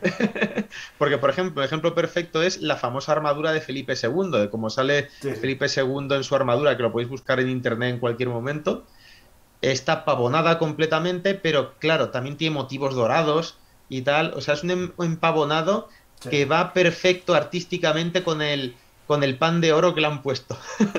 Se va pavonado, no empavonado. sí, pavonado. Y que de hecho, esa armadura todavía se conserva en el, en el Museo del Palacio Real, solo que ya no tiene el pavonado. Porque el pavonado eh, no es como el pan de oro que se queda pegado, es como una capa de una especie de grasa que tiene que ponerse continuamente o si no se va yendo. Ah. Y de limpiarla muchas veces y no poner luego el pavonado, pues se le ha ido. Por eso veis que la armadura de Felipe II en el cuadro es negra, pero cuando la veis en el museo está completamente limpia. Y eso es porque con el paso del tiempo lo han limpiado. Y bueno, eh, ejemplo también interesante para que veáis el tema, el caballo coraza va evolucionando, como digo. Bueno, primero, quiero explicar lo de caballería media antes de que se me olvide. ¿Por qué era caballería media? Porque estaba equipado para poder ser como una especie de caballería pesada de mala calidad en campo de batalla abierto, pero cuando no era campo de batalla abierto, los usaban fundamentalmente para arrasar aldeas, como usaba la caballería ligera. O sea, eh, reconocimientos, escoltas, ataques a pueblos y demás, por eso tenían tan mala fama. ¿Y por qué? Pues porque em, al ser, eh, digamos, no es que fueran tan ágiles como un arcabucero a caballo, pero eran tropas más indisciplinadas, normalmente, sobre todo los alemanes, que te podías permitir prescindir de ellos. Entonces dices, ¿qué hago con estos que me molestan? Los mando por ahí a atacar dos o tres aldeas y que vuelvan que saquen lo que quieran y ya vendrán. eso me sirve también. Hay dos opciones. Vuelven con suministros y dinero, bien. No vuelven, me ahorro una paga. Sí. Porque además, como decía el duque de Alba, el duque de Alba decía que contrataba alemanes no por su calidad, sino para que no los contratara el enemigo. Pues los Reiter el doble. por lo menos la infantería alemana sí que tenía una cierta calidad en esa época, pero la caballería muy, muy mala fama. Y bueno, ejemplo aquí cosas, ¿cómo evolucionó? Pues el coracero evolucionó a cada vez perder más piezas de armadura. ¿Por qué? Para concentrar el peso en el peto y en el casco, que es el sitio importante y necesitabas armadura muy gruesa para aguantar los disparos del enemigo. Entonces, eh, no es porque ya no pudieran ser heridos en las piernas o en los brazos, que es lo que perdieron, sino para ahorrar peso. Hay que concentrar el peso en el punto importante y ya está. Y aquí vemos en la imagen del coracero austríaco de 1705, que fue el último tipo de coracero que hubo, como básicamente no hay mucha diferencia en aspecto con un coracero de la guerra de los 30 años. Y estamos hablando de que ha pasado tiempo. Pero ¿qué ha perdido? Pues los brazos y las piernas. Básicamente solo protege pecho y cabeza. Porque el objetivo era concentrar la protección en esos puntos. Y se lleva una especie de cuera, ¿no? Para protegerse de los cortes más suaves y eso, ¿no? Sí, eso se puso de moda en la guerra de los 30 años, que era que la caballería media y ligera empezó a llevar esa cuera debajo de la coraza para proteger de manera extra las zonas que no protegía la armadura metálica. que además se ve mucho siempre, se ve porque es de color amarillo. Si es de color amarillo es cuero, que en esa época el cuero curtido no era de color marrón como ahora, sino era de color amarillo por las sustancias que utilizaban. Una, como curiosidad. Y bueno, como veis aquí de imágenes que puedes poner, los enfrentamientos de caballos coraza eran los más habituales. Caballo coraza contra caballo coraza simplemente porque era lo que más había. Y si veis aquí en el que pues, lo he titulado como Batalla de Branks, porque es de, este pintor que es maravilloso. Yo siempre digo que de pinturas de guerra del siglo XVII, el mejor es Branks. O sea, ese tío era un genio. Tenemos un vídeo eh, explicando un poco de, la historia del arte y la guerra a lo largo del tiempo. Eh, si queréis buscarlo, está en el, bueno, en la historia de YouTube, hay un vídeo y hablamos de algunos de estos pintores de historia militar. De esta época justo que son los, los más afamados, ¿no?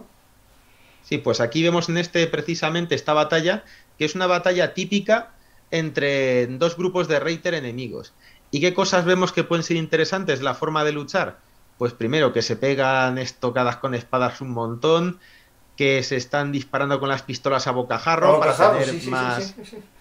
Pero también fijaos que hay uno que está atacando con la culata de la, de la pistola al otro. Sí, es verdad. uno negro, uno empagonado negro que está, el otro está disparándole. Mm. Y luego, un detalle interesante es que en las colinas de la derecha veis a trompeteros en caballo. Y es porque la caballería eh, se manejaba eh, con toques de trompeta, igual que la infantería con toques de tambor, la caballería con toques de trompeta. Y los trompeteros se quedaban alejados del campo de batalla un poco porque tenían que transmitir las órdenes a su escuadrón. Y si estaban peleando, pues no iban a poder transmitir mucha orden, digamos. Sí. De hecho, en el programa que tenéis eh, tú y David sobre las huestes hispánicas, en la intro, eh, que es de 1598, un texto que lees, me parece, hablas de y todos iban con trompetas, ¿no? Sí. Sí, porque además era, era el sistema de comunicaciones medieval. O sea, eh, lo moderno era el tambor, pero claro, no puedes llevar un tambor a caballo. Además, tampoco te merece la pena seguir el paso. Así mm. que las órdenes se seguían dando con trompas, trompetas y demás. Incluso ahora veremos más adelante algunos con gaitas y todo. Pero bueno. Eso será estudiado. y bueno, una, cosa sobre la forma de atacar de estos es que, aunque es verdad que procuraban atacar más a la caracola, sí que muchas veces cargaron contra enemigos, no siendo muy efectivos usualmente, pero también cargaron. Y sobre todo contra otra caballería sí que cargaban. Y la forma de atacar a la caballería enemiga solía ser dispararle a bocajarro con la pistola. Cuando a bocajarro es cuando te decían los tratados militares de entrenamiento de caballería, dice, cuando el cañón toque el pecho del enemigo, disparas. A quemar ropa completo, no eso quemar ropa de toda la vida. Y, por eso siempre decían que el caballo lanza tenía ventaja sobre el caballo coraza, porque el caballo lanza tenía más alcance efectivo con la lanza va a impactar antes la lanza que el otro la pistola va a disparar a una distancia que te pueda hacer algo. Que a veces disparabas de más lejos y le dabas y lo matabas, pero las posibilidades eran menos. Te voy a hacer una descripción que acaba de escribir David, David Nievas, que yo creo que es la mejor descripción de un writer.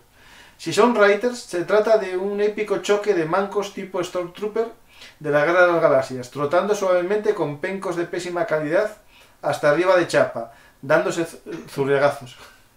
Sí, básicamente. Pero claro, luego es verdad, como digo, que en el siglo XVII mejoró un poco la calidad de los Reiter. Eh, pero nunca fueron la leche, precisamente. ¿Y, qué te iba a decir? Que se me ha olvidado. Algo de, los disparos. Ah, sí, que sin embargo los Reiter, aunque estaban en desventaja contra los caballos lanza, no están completamente indefensos. Y se sabe de unidades que, que usaron técnicas bastante buenas contra cargas de lancero.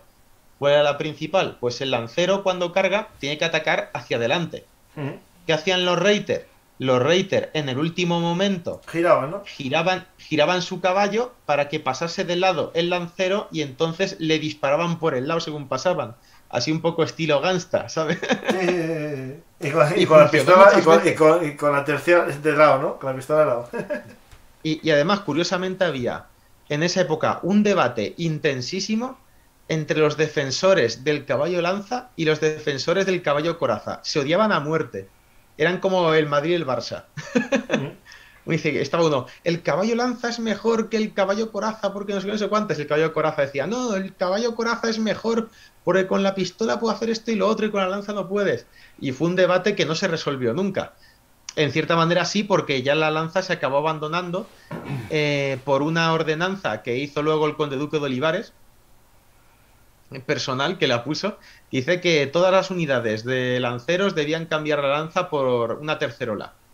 Y ya ahí fue cuando murió la lanza en los ejércitos hispánicos en caballería. Hace una pregunta aquí uno de los eh, espectadores que pregunta, eh, ¿Reiters, caballo coraza y coracero son lo mismo? Es decir, eh, entiendo que aquí cuando habla de coracero, pero claro, el coracero... Sí, en este momento sí, pero claro, cuando yo hablo de coracero o escucho coracero, me voy casi más a ese siglo XIX, ¿no? A esos coraceros napoleónicos que cargaban con estoque, bueno, con espada sable estoque. Sí, eh, es que hay que pensar que los corazones napoleónicos son descendientes de estos. Sí, sí. O sea, directamente.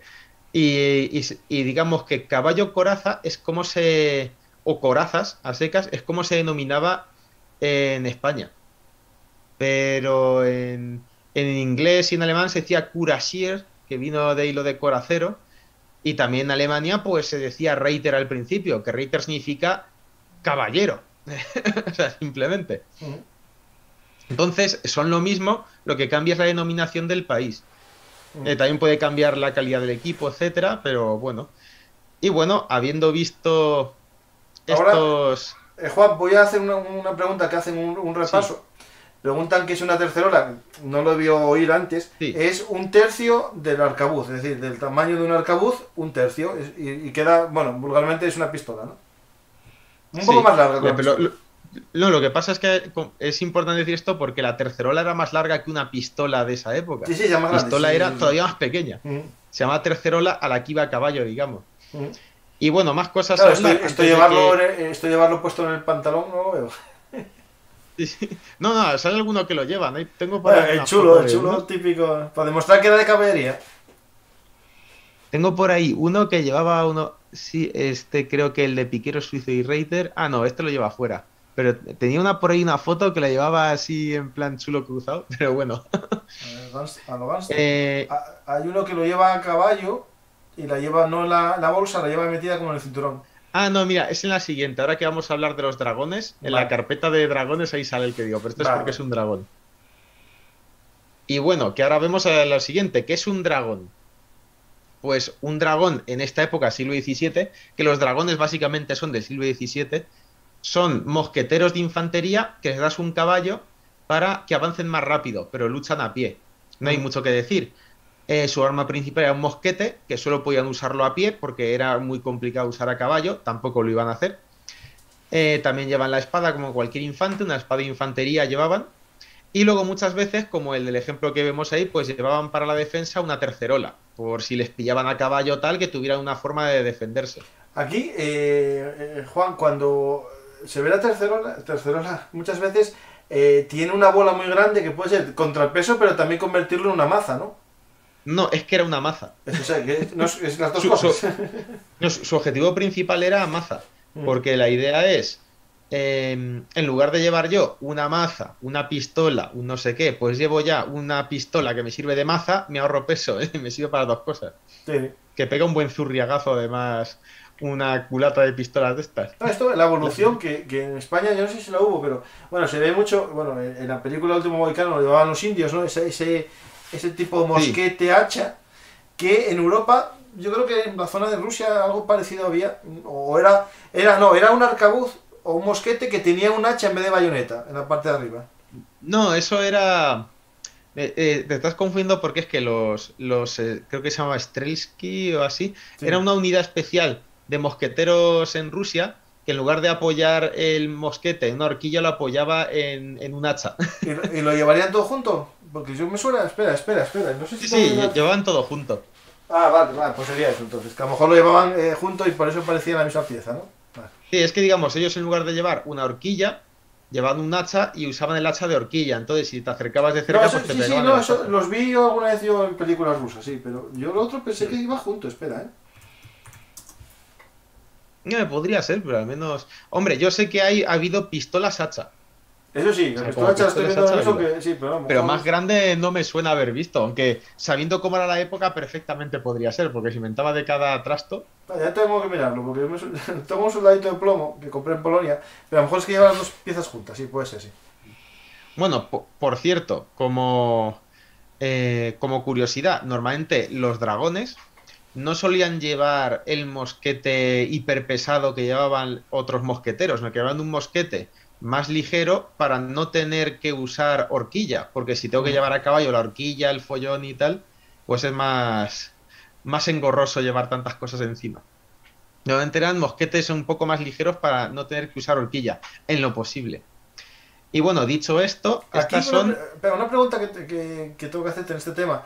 Eh, los, los, españoles durante más tiempo usaban el arcabuz suyo porque era más grande que el mosquete normal, o algo así, era una historia así rara, ¿no? Sí, no, es, básicamente, es eh, para mí yo creo que es un problema de nomenclatura, porque es que en España se diferenciaba el arcabuz del mosquete por calibre, pero en los países, sobre todo anglosajones, todo era musket, da igual el calibre.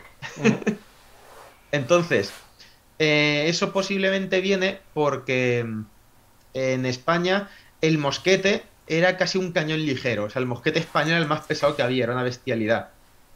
Eh, y el arcabuz, pues se veía como el complemento que era más ligero y móvil. Sin embargo, en los países, digamos, del norte sobre todo, en lugar de tener la diferencia entre arcabuz y mosquete, se hizo un mosquete ligero que podía servir tanto de arcabuz como de mosquete, aunque no era tan efectivo en sus roles, mientras que España mantuvo la distinción del mosquetero con un arma más pesada y el arcabucero con un arma más ligera. Pero digamos que en los países del norte al arcabuz español lo llamarían musket también. Vale, perfecto. Y bueno, eh, más caballería que quiero contar antes de las tácticas. Pues dos caballerías que aunque no eran plenamente españolas, sí que tuvieron muchísima repercusión, que fueron la caballería húngara y la caballería croata. Vale. de hecho, me habían preguntado al principio del programa si íbamos a hablar de ellas y yo dije que sí, entonces vamos a empezar. No mucho, porque tampoco soy mega experto, pero hay que mencionarla porque se usaba un montón. por ejemplo, primero empezamos con la húngara. ¿Por qué? Porque la húngara es la primera de este tipo que se usó, que de hecho una de las guardias reales que había vino de la caballería húngara, que es la guardia de la lancilla, que vino de los jinetes húngaros que luchaban para Carlos V. Ah. Pues eh, se caracterizaban sobre todo por ser muy buenos jinetes, muy rápidos, era una caballería ultra ligera, podríamos decir, pero que se comportaba bien en campo de batalla también, porque usaban unas lanzas muy largas y un buen escudo que era una tabla china. Una tabla china es un escudo de madera bastante amplio, aquí he puesto una imagen si se puede ver, que cubría casi todo el cuerpo, además en varias de las imágenes que pongo aquí se ven jinetes húngaros con tablas chinas. Tiene forma como, de, como una especie de, de gota o lágrima, ¿no? Eh, yo diría que es como un... Pero al revés, es decir, hacia arriba. Eh, eh, es como si coges un rectángulo y le pegas un corte y se queda ahí medio a mitad. Y además es muy curvado. Y bueno, aparte de la tabla china y la lanza, llevaban normalmente un sable húngaro, que es el típico sable este húngaro polaco, que es muy curvo y ancho, que también aquí he puesto alguno para que se vea. Y esas eran sus armas principales, aunque también pueden usar otras más secundarias como pistolas, arcos y demás según va avanzando el tiempo, más pistolas que arcos, pero bueno. Y como veis aquí, cosa curiosa, los húngaros usaban, en lugar de trompeta, usaban gaitas. que dicen que las gaitas son escocesas, pues no tanto. No, todo lo, pero ¿dónde está la gaita que no veo? De, hecho, como curiosidad, eh, eh, dato de esto para hacer de cuñado cuando veis con la gente, eh, los escoceses fueron los últimos en implementar la gaita militarmente. Madre mía. Tienen la fama, pero son los últimos. Siempre recuerdo una frase que no sé dónde lo leí, dónde, dónde puedo, conseguirla, que se entraron, entraron en Tenochtitlán los, eh, los, los, castellanos y bueno, los españoles al son de la gaita. Sí, sí, es que la gaita era mm, súper común. Como. De hecho, era más común, como veis aquí, en los Balcanes, por ejemplo, que en, en, en lo que es el Reino Unido. Que de hecho creo que en Inglaterra, para que veáis, en Inglaterra entró la gaita antes que en Escocia. que tiene delito. Lo que pasa es que se, dejó de usar antes, como algo así. Ahí estuvo, estaba más de moda todavía hasta ahora. Es más reciente, está de moda todavía. Sí, puede verse así. Pero bueno, volvamos a los húngaros, que se me, que se me va la pinza. Em, ¿Cómo se usaban sobre todo? Pues parecían los Reiter, pero de más calidad. Es decir, tú los llevabas a asaltar pueblos y demás, eh, y hacían de buen reconocimiento, em, buenas escoltas hacían también, y en campo de batalla abierto se solían dejar de reserva, eh, atrás del todo, de tal manera que cuando el enemigo comenzaba a huir, tú los soltabas como si fueran los perros de, guerra, eh, y, cogían a todos los que iban huyendo y los reservaban a posta para eso. ¿Significa que en batalla solo usaban para eso? No. Si veían que la cosa iba mal en algún sitio, también los enviaban a luchar y no eran malos. Pero destacaban como caballería ligera súper rápida. Y entonces, claro, lo utilizabas para pillar a los que huían. ¿Qué ocurre? ¿En protecciones llevaban algo, una cota malla o algo, o no llevaban nada más que pues, pues según la riqueza. Em, la mayoría iban solo con un casco o con un gorro así ancho. Los más adinerados llevaban un casco y cota de malla. Alguno llevaba alguna pieza más rígida y tal, pero iban poco armados en mm. cuanto a armadura. Es según el nivel económico, pero lo usual era cota de malla y casco. Les gustaban mucho las mallas todavía. Y luego tenemos la caballería croata, que es prácticamente igual que la húngara en forma de estilo y tal, solo que ellos ya no usan tablas chinas cuando se usa por la monarquía hispánica, porque los croatas se usan ya más a partir del siglo XVII en la monarquía hispánica. Y ya entonces han perdido la tabla china, han perdido la lanza en gran medida, se usa un poco pero menos. Y de hecho los croatas tienen a ir siempre con un par de pistolas, una maza, un martillo, el sable y cada vez son más de atacar pueblos y poco más. Aquí podemos ver varias imágenes y esto ya sí que casi nunca llevan armadura los croatas, como muchos los oficiales croatas llevan cota de malla y demás. Pero ya está, para que veáis que existían. Los croatas, por cierto, daban bastante miedo, tenían igual de mala fama que los Reiter, de entrar en pueblos y no dejar nadie sano. Vamos, que toda esta caballería ligera no tenía muy buena fama en ningún sitio. igual que los usares también, lo mismo. que los usares ligeros, ¿eh? no los usares polacos. Y bueno, eso si queréis podemos empezar ya con, Yo creo que la gente, eh, los que están escuchando en directo, si tienen alguna pregunta sobre los, las unidades que estuvimos hablando, que la hagan ahora y mientras tanto, un poco. Eh... Sí, y por, y, por, varias razones. Yo voy contando lo que me acuerdo. A lo mejor se me ha pasado de decir algo que lo sé, pero ahora no me sale. Y si me preguntáis, a lo mejor me acuerdo. Así que mm. viene bien que preguntéis. Ahora, mientras tanto, aprovecho un poco para hacer eh, bueno, publicidad del blog. Mientras la gente piensa alguna pregunta, eh, a los que nos escuchan, les digo que hace poco abrí un pequeño un canal en TikTok para intentar generar en esa red social un contenido de cultura y, de historia, ¿no? El que tenga el TikTok, que busque un Artist, e intentaré, voy a ir subiendo los vídeos que subo aquí en YouTube, los cortos de un minuto, pero si queréis ayudar un poco a que se fomente la, cultura en el baile de, en, el, en, la red social del baile y de las chorradas, pues eh, saber que estamos ahí. Y también, eh, si os ha gustado este programa y todos los demás de un Artist, saber que tenemos un sistema de micromecenazgo en patreon.com barra ver un artist en el que nos podéis invitar a un café o, otra cosa para mejorar un poco los sistemas de grabación, comprar libros o, viajar. Viajar no, pagar la entrada de un castillo, viajar no me da con esto. y también ayudar a, los, a, los, que graban conmigo y algún día tener algún detalle con ellos. Más cosas sobre, sobre ver un artist, eh, ya sabéis que tenemos programas martes y jueves en directo eh, en YouTube a las 22 horas. Y nada más, yo creo que ya vamos a empezar. También algún domingo, pues acaso alguien lo, ve los domingos. Y este sábado que estamos grabando en directo, echándolo en directo, va a haber un programa especial en directo de David Nievas sobre la conquista. Eh, esa serie magnífica que está haciendo en formato podcast, en la que va a hablar de los, del ejército inca, ¿no? de los soldados de, del gran inca. Entonces va a tener a cinco o seis invitados de Perú y va, va, a hablar en profundidad sobre los guerreros incas. Por lo tanto, no os lo perdáis el sábado en directo. Y el domingo va a haber otro programa en directo también, que salió ahora, nos salió sobre las raciones de combate de la Wehrmacht y de la US Army. Y el jueves, uno sobre eh, sobre Almanzor y las luchas contra los cristianos. O sea, Juan, hay cargado aquí demasiado. Sí, que, como veis, Belumartis no descansa. No, no, yo voy a empezar a descansar de alguna manera. El problema es que me lían cada vez más. Eh, hay muchas preguntas. A ver, ¿la voz celada de dónde viene? Porque en otros idiomas no significa nada. Un sayet en francés o inglés. Ahora mismo solo significa el casco. Pero en castellano era trampa. Yo, claro, sí, parece como para hacer emboscadas, ¿no? Sí, claro, yo imagino que viene de que eh, celada viene de también de cerrado. Entonces una celada puede venir también de cerrado de que entra una encerrona. Es una idea que puedo tener, tampoco lo sé exacto. esa pregunta eh, era de David. Eh, Iván Mesa pregunta, sin salirme mucho del tema, Gustavo Adolfo usaba su caballería al choque, sin usar tácticas de caracola o de dragones, y los jacapelitas como caballería ligera, pero no me queda claro.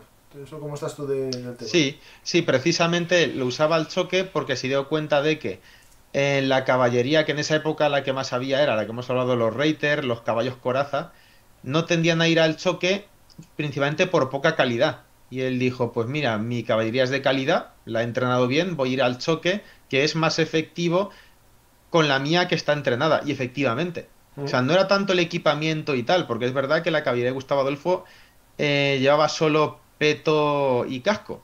Y dices, lleva menos que un caballo coraza que lleva más. Pero como estaba mejor entrenada y tenía más moral, pues al cuerpo a cuerpo arrasaban. el, truco del choque muchas veces está más en la voluntad de hacerlo bien que en el equipamiento. Y Gustavo Adolfo es un ejemplo perfecto. Más preguntas. Eh, bueno, uno dice que es buena idea los vídeos cortos para YouTube y TikTok. Entonces, bueno, voy a seguir con ellos los que puedo hacer, ¿eh? los que me dé la vida. ¿Los estradiotes eran más griegos y albaneses? Sí, los estradiotes eran griegos y albaneses y los usaban los venecianos fundamentalmente como mercenarios. No sé si los llegó a usar la, eh, los Habsburgo como mercenarios demasiado. Sé que como que los tenían un poco capados Venecia para ellos solos, porque era más su territorio. Pero bueno, eh, no me extrañaría tampoco, hasta ahí no sé. Quizá el Sacro Imperio Romano eh, lo usaría más, pero bueno, ahí es, ahí es hasta donde sé. Y bueno, y, más o menos en comparación, dice que el término usar era más para Hungría, Serbia y Polonia. Eh, en mm. Polonia es otro tipo de usar, se va evolucionando otro tipo de usar, que tenemos hablado tú y yo de hacer un día un podcast corto de estos de media hora. Sí sobre los usares salados. Esto lo digo a la gente que nos escucha en YouTube, que también tenemos contenido distinto en formato podcast y a los de podcast a ver que todo que están escuchando se puede ver también, ¿no? además, como, como, comentario rápido, decir que los usares salados polacos son una especie de cosa extraña porque mantuvieron el sistema de hombres de armas de que había en Europa en el siglo XV y lo mantuvieron en el XVII y luchaban como hombres de armas del XV en el XVII. con sus lanzas, con sus lanzas que es lanza en cuanto al conjunto de personas que acompañan a un, caballero. Tenemos también, eh, por ejemplo, por qué es el reinado de Carlos II justamente cuando la caballería española alcanza un enorme prestigio entre todos los aliados que estaban coligados contra Luis XIV.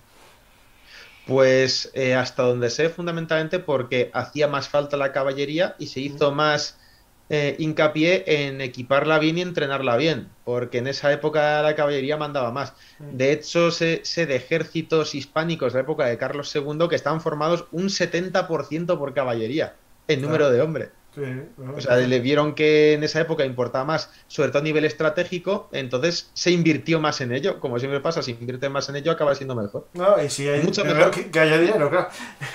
Eh, el nombre de dragones, entiendo que pregunta de dónde viene. Si, sabe algo del origen de esa palabra, si sabéis alguna teoría o... No lo sé, pero te voy a decir una cosa. En los reinos hispánicos a los dragones se les llamaba mosqueteros a secas. o sea, le decían, vamos a traer mosqueteros a caballo en no sé qué, pero no decían dragones. Lo de dragones es posterior y se usa como para referirse a ellos más en otras naciones en esa época. No sé dónde viene de gran, en gran medida. Como no sea que eh, tienen una relación con el, animal mitológico de alguna manera, pero ahí lo siento, no lo sé. Sí, porque no usaban como en la época romana un draco, ¿no? un estandarte de forma de dragón, que sería la única opción en cuanto a unirse, ¿no? Eh, precisamente los dragones, si tiene una característica, es que no tenían músico, ni tenían bandera, ni nada, porque no eran una unidad. Eran un grupo de gente que cogían para esto específico. Un vexilatio de toda la vida. Eh, y según creo recordar, fue el ejército de Flandes el que salvó la existencia de Holanda cuando fue invadida en el transcurso de la guerra franco-holandesa. Eso debe ser de lo anterior. Siendo la caballería. Bueno, te estoy mirando preguntas, ¿eh? También había húngaros con corazas y lanzas. sí, sí. Por lo menos en las guerras italianas. ¿Los dragones de cuero eran también infantería? Sí, en teoría eran, eran, eh, eh, eran, Bueno, es que realmente no se llaman dragones de cuero, eran soldados de presidio. Que era el nombre que tenía. Eh, es que además, si te fijas, como digo, esto es el. Yo digo siempre el cachondeo de la infantería a caballo. ¿Por qué lo digo? Porque tenemos que los arcabuceros a caballo se idearon en principio como infantería montada, pero como ya luchaban solo a caballos, tuvo que crear otra infantería montada que eran los dragones, que en la época napoleónica ya no era infantería montada, se luchaba siempre a caballo. Y luego, pues hasta precisamente en la, eh, en la Guerra Fría se hizo la infantería mecanizada, que es otra infantería montada, pero ahora están en lo, la infantería mecanizada hoy en día, ponen en, lo, en la mayoría de las doctrinas que no deben bajar del vehículo en lo posible, con lo cual la vemos que otra vez nos desmontan. No, ya, al final. Eh, de, hecho, eh, una cosa que es interesante sobre lo que estás comentando, que se me olvidó, porque ya lo iba a decir, pero se me olvidó. Ah, sí, mira, el famoso séptimo de caballería que lo tenemos como una de caballería realmente eran dragones, porque no tenían ni espada. O sea, eh, de hecho, bajaban del caballo para combatir y, el problema que, que, a lo mejor aquí podemos verlo en estos dragones. Eh, cuando desmontan, tienen un problema, que es que las unidades se dividen. Es decir, eh, si tú tienes seis jinetes, un soldado puede aguantar la rienda de cinco caballos, por lo tanto solo combaten cinco. Hmm. Es decir, es un problema que tienen estas unidades eh, a caballo, de dragones, digo. Sí, de, hecho, ahora veremos ahora en imágenes de formaciones que en las formaciones que tienen estos pensados de caballería, tiene un espacio para caballos sin jinete. es una cosa curiosa porque en las batallas eh, van perdiendo caballos. Entonces tienen, caballos de tienen caballos de refresco detrás para que los que han caído del caballo porque se les ha muerto cojan otro. Bueno, pero eso, en, bueno, en la antigüedad los pueblos que iban a caballo siempre llevaban dos o tres y los mongoles llevaban a tener 18 caballos en cola, o sea que vamos y, y, a lo que me refiero es que también en los, en los dragones se sabe, en los dragones de esta época hablo, que a veces eran caballos tan malos que habían dejado, que lo habían cogido de cualquier sitio que no se molestaban en dejar a un hombre para guardarlos, que si se escapaban daba igual. Porque ellos habían llegado al punto que tenían que defender y no se iban a ir, así que si iban los caballos daba igual. Muchas veces no los ataban en ningún sitio ni nada. Y es que eso se menciona. que dicen, no los dejaron atados porque como tenían que quedarse ahí hasta la muerte, pues dijeron que se vayan. y además dicen que los caballos no valían mucho. Aquí nuestro, nuestro nuevo youtuber, eh, David, dice una teoría que a lo mejor es justo el, origen de esa palabra que te preguntaron, dragón. La de la apariencia, armadura del jinete, es decir, que tiene una apariencia, ¿no? Como un dragón, pero dice que también puede venir, ahora esto es serio, ¿no? Del verbo dragen, que no sé si es verdad, que en holandés significa transportar. Pudiera ser perfectamente, porque al final es infantería transportado. Claro, sí, sí, sí, claro, Claro, claro. Yo lo veo completamente lógico, además. Pues porque además que venga del holandés viene lógico, porque se sabe que los dragones, como utilizarlos, se fue en la zona de las guerras de Flandes. O sea, es cuando se usaron primero. Entonces tiene todo el sentido del mundo. Sí, sí. No, eh, está preguntando aquí gente en el, en el, en el chat, como David eh, dice comentarios muy interesantes, si, tiene un canal, no, David es de ver un artist por ahora, que si salvo que se independice, y tiene una serie La Conquista en el canal de podcast en Evox, pero también va a hacer programas en directo en, aquí en Ver un Artist, ¿vale? Por lo tanto, disfrutaréis de David, bueno, y de la pareja que es Juan Molina, la pareja de Flandes, el dúo, que os están pidiendo eh, mucha gente y ya con ansiedad alguno eh, volver a, a, a, ver eso. Mm, sí, tenemos que acabarlo, dejar cosas amigas está feo. Sí, con Farnesio. Bueno, eh, volvemos al programa ya, después de todas estas preguntas, irán saliendo más y vamos viéndolo. Pues tenemos aquí eh, ya la- los soldados, ¿no? Los, los jinetes, los, eh, los riders y toda esta gente que va a caballo, en distintos tipos de, de caballos, desde caballos a podencos, ¿no? Y, algunos a rocinantes. Y nos vamos ya eh, a la forma de combatir, ¿no? Es decir, qué tácticas empleaban. Sí. Me imagino que cada uno Sí, de pues- ellos una táctica distinta. Pues lo primero decir que la mayor parte de las imágenes que vais a ver ahora, no todas, pero el 90%, la he sacado de un tratado que es El arte de la caballería para Filipo IV. Es decir, es un libro que se escribió en la época de Felipe IV en su honor. Por eso el tratado este se llama El Filipo IV muchas veces. Y, te, y básicamente es un manual que te habla de tácticas y estrategias para usar caballería de esta época. Por eso es muy chulo y tiene muchas imágenes chulas que he traído. No me lo he leído entero, fundamentalmente porque está escrito en latín, entonces pillo cosas. Pero, pero sobre todo con las ilustraciones se puede interpretar muy bien las intenciones, y además de otras fuentes que también he leído y demás, pues se puede llegar a cosas. Eh, lo interesante, primero vamos a ver las formaciones a nivel de compañía, es decir, una compañía de lanzas, una compañía de coraceros, una compañía de arcabuceros, como lo hacía. Primero, si queréis, vamos a los arcabuceros a caballo, que son, Vayamos. así hay, ahí vemos, pues por ejemplo, la, una de las más comunes formaciones de usar con arcabuceros a caballo es esta que sale en rombo, no sé si la tienes ahí. Romboidal, sí, sí.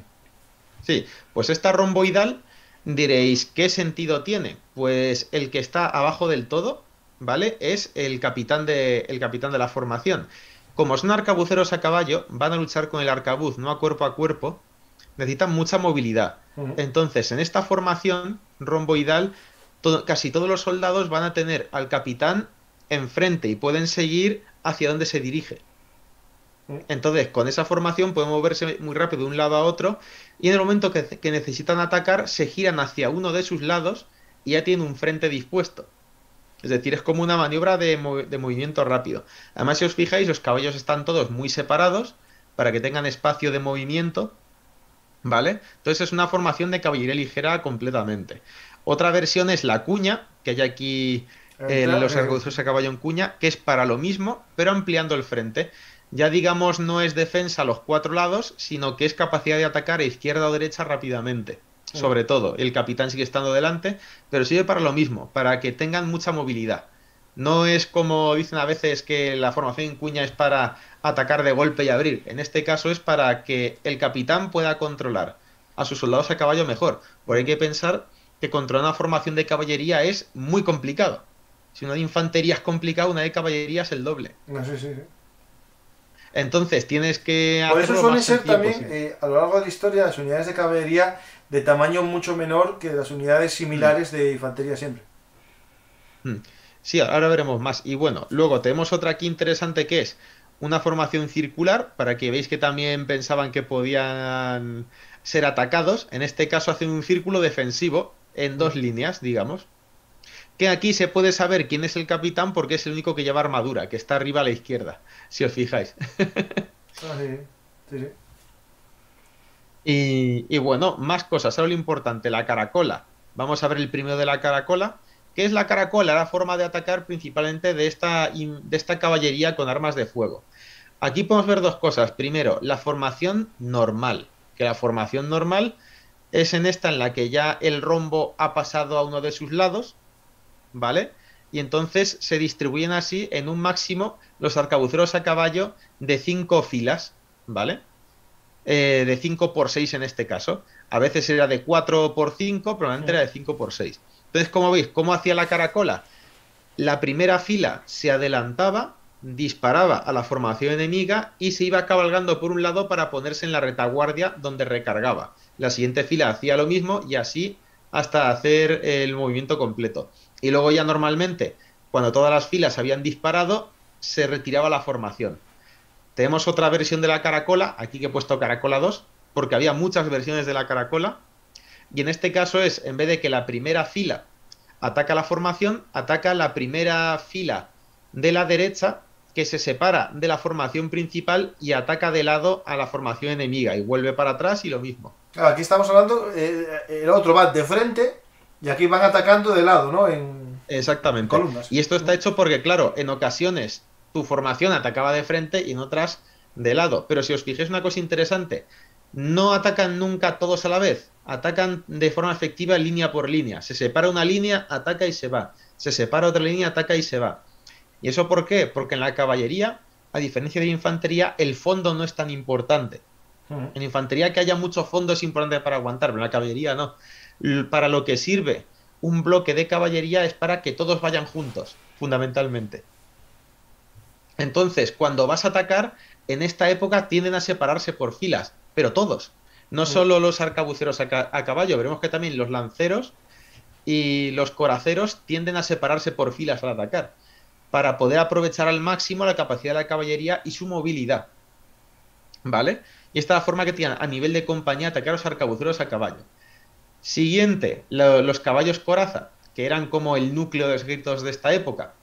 Pues como veis, vemos aquí que tendían a formar en formaciones mucho más masivas. ¿Por qué? Por la mala calidad. Simplemente por eso.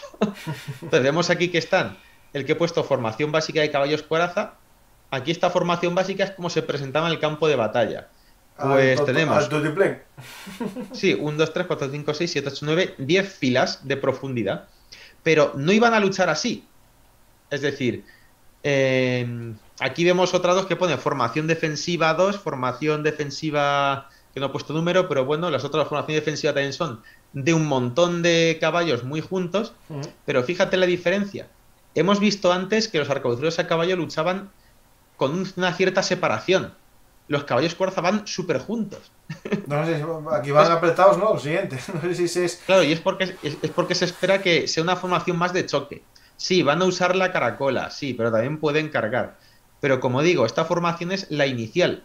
Cuando van a atacar, normalmente se ponían en una formación más suelta, como la que he puesto aquí de formación de ataque caballos cuarza número 2, que para mí esa es la más evidente que es, que la número 2, no sé si a ti es puesta ya. Sí, sí está, sí, sí, que van como en pues, grupos. Pues, como, ves, tiene lo que pone ACIES ofensiva y ACIES defensiva. Cada ACIES como formación.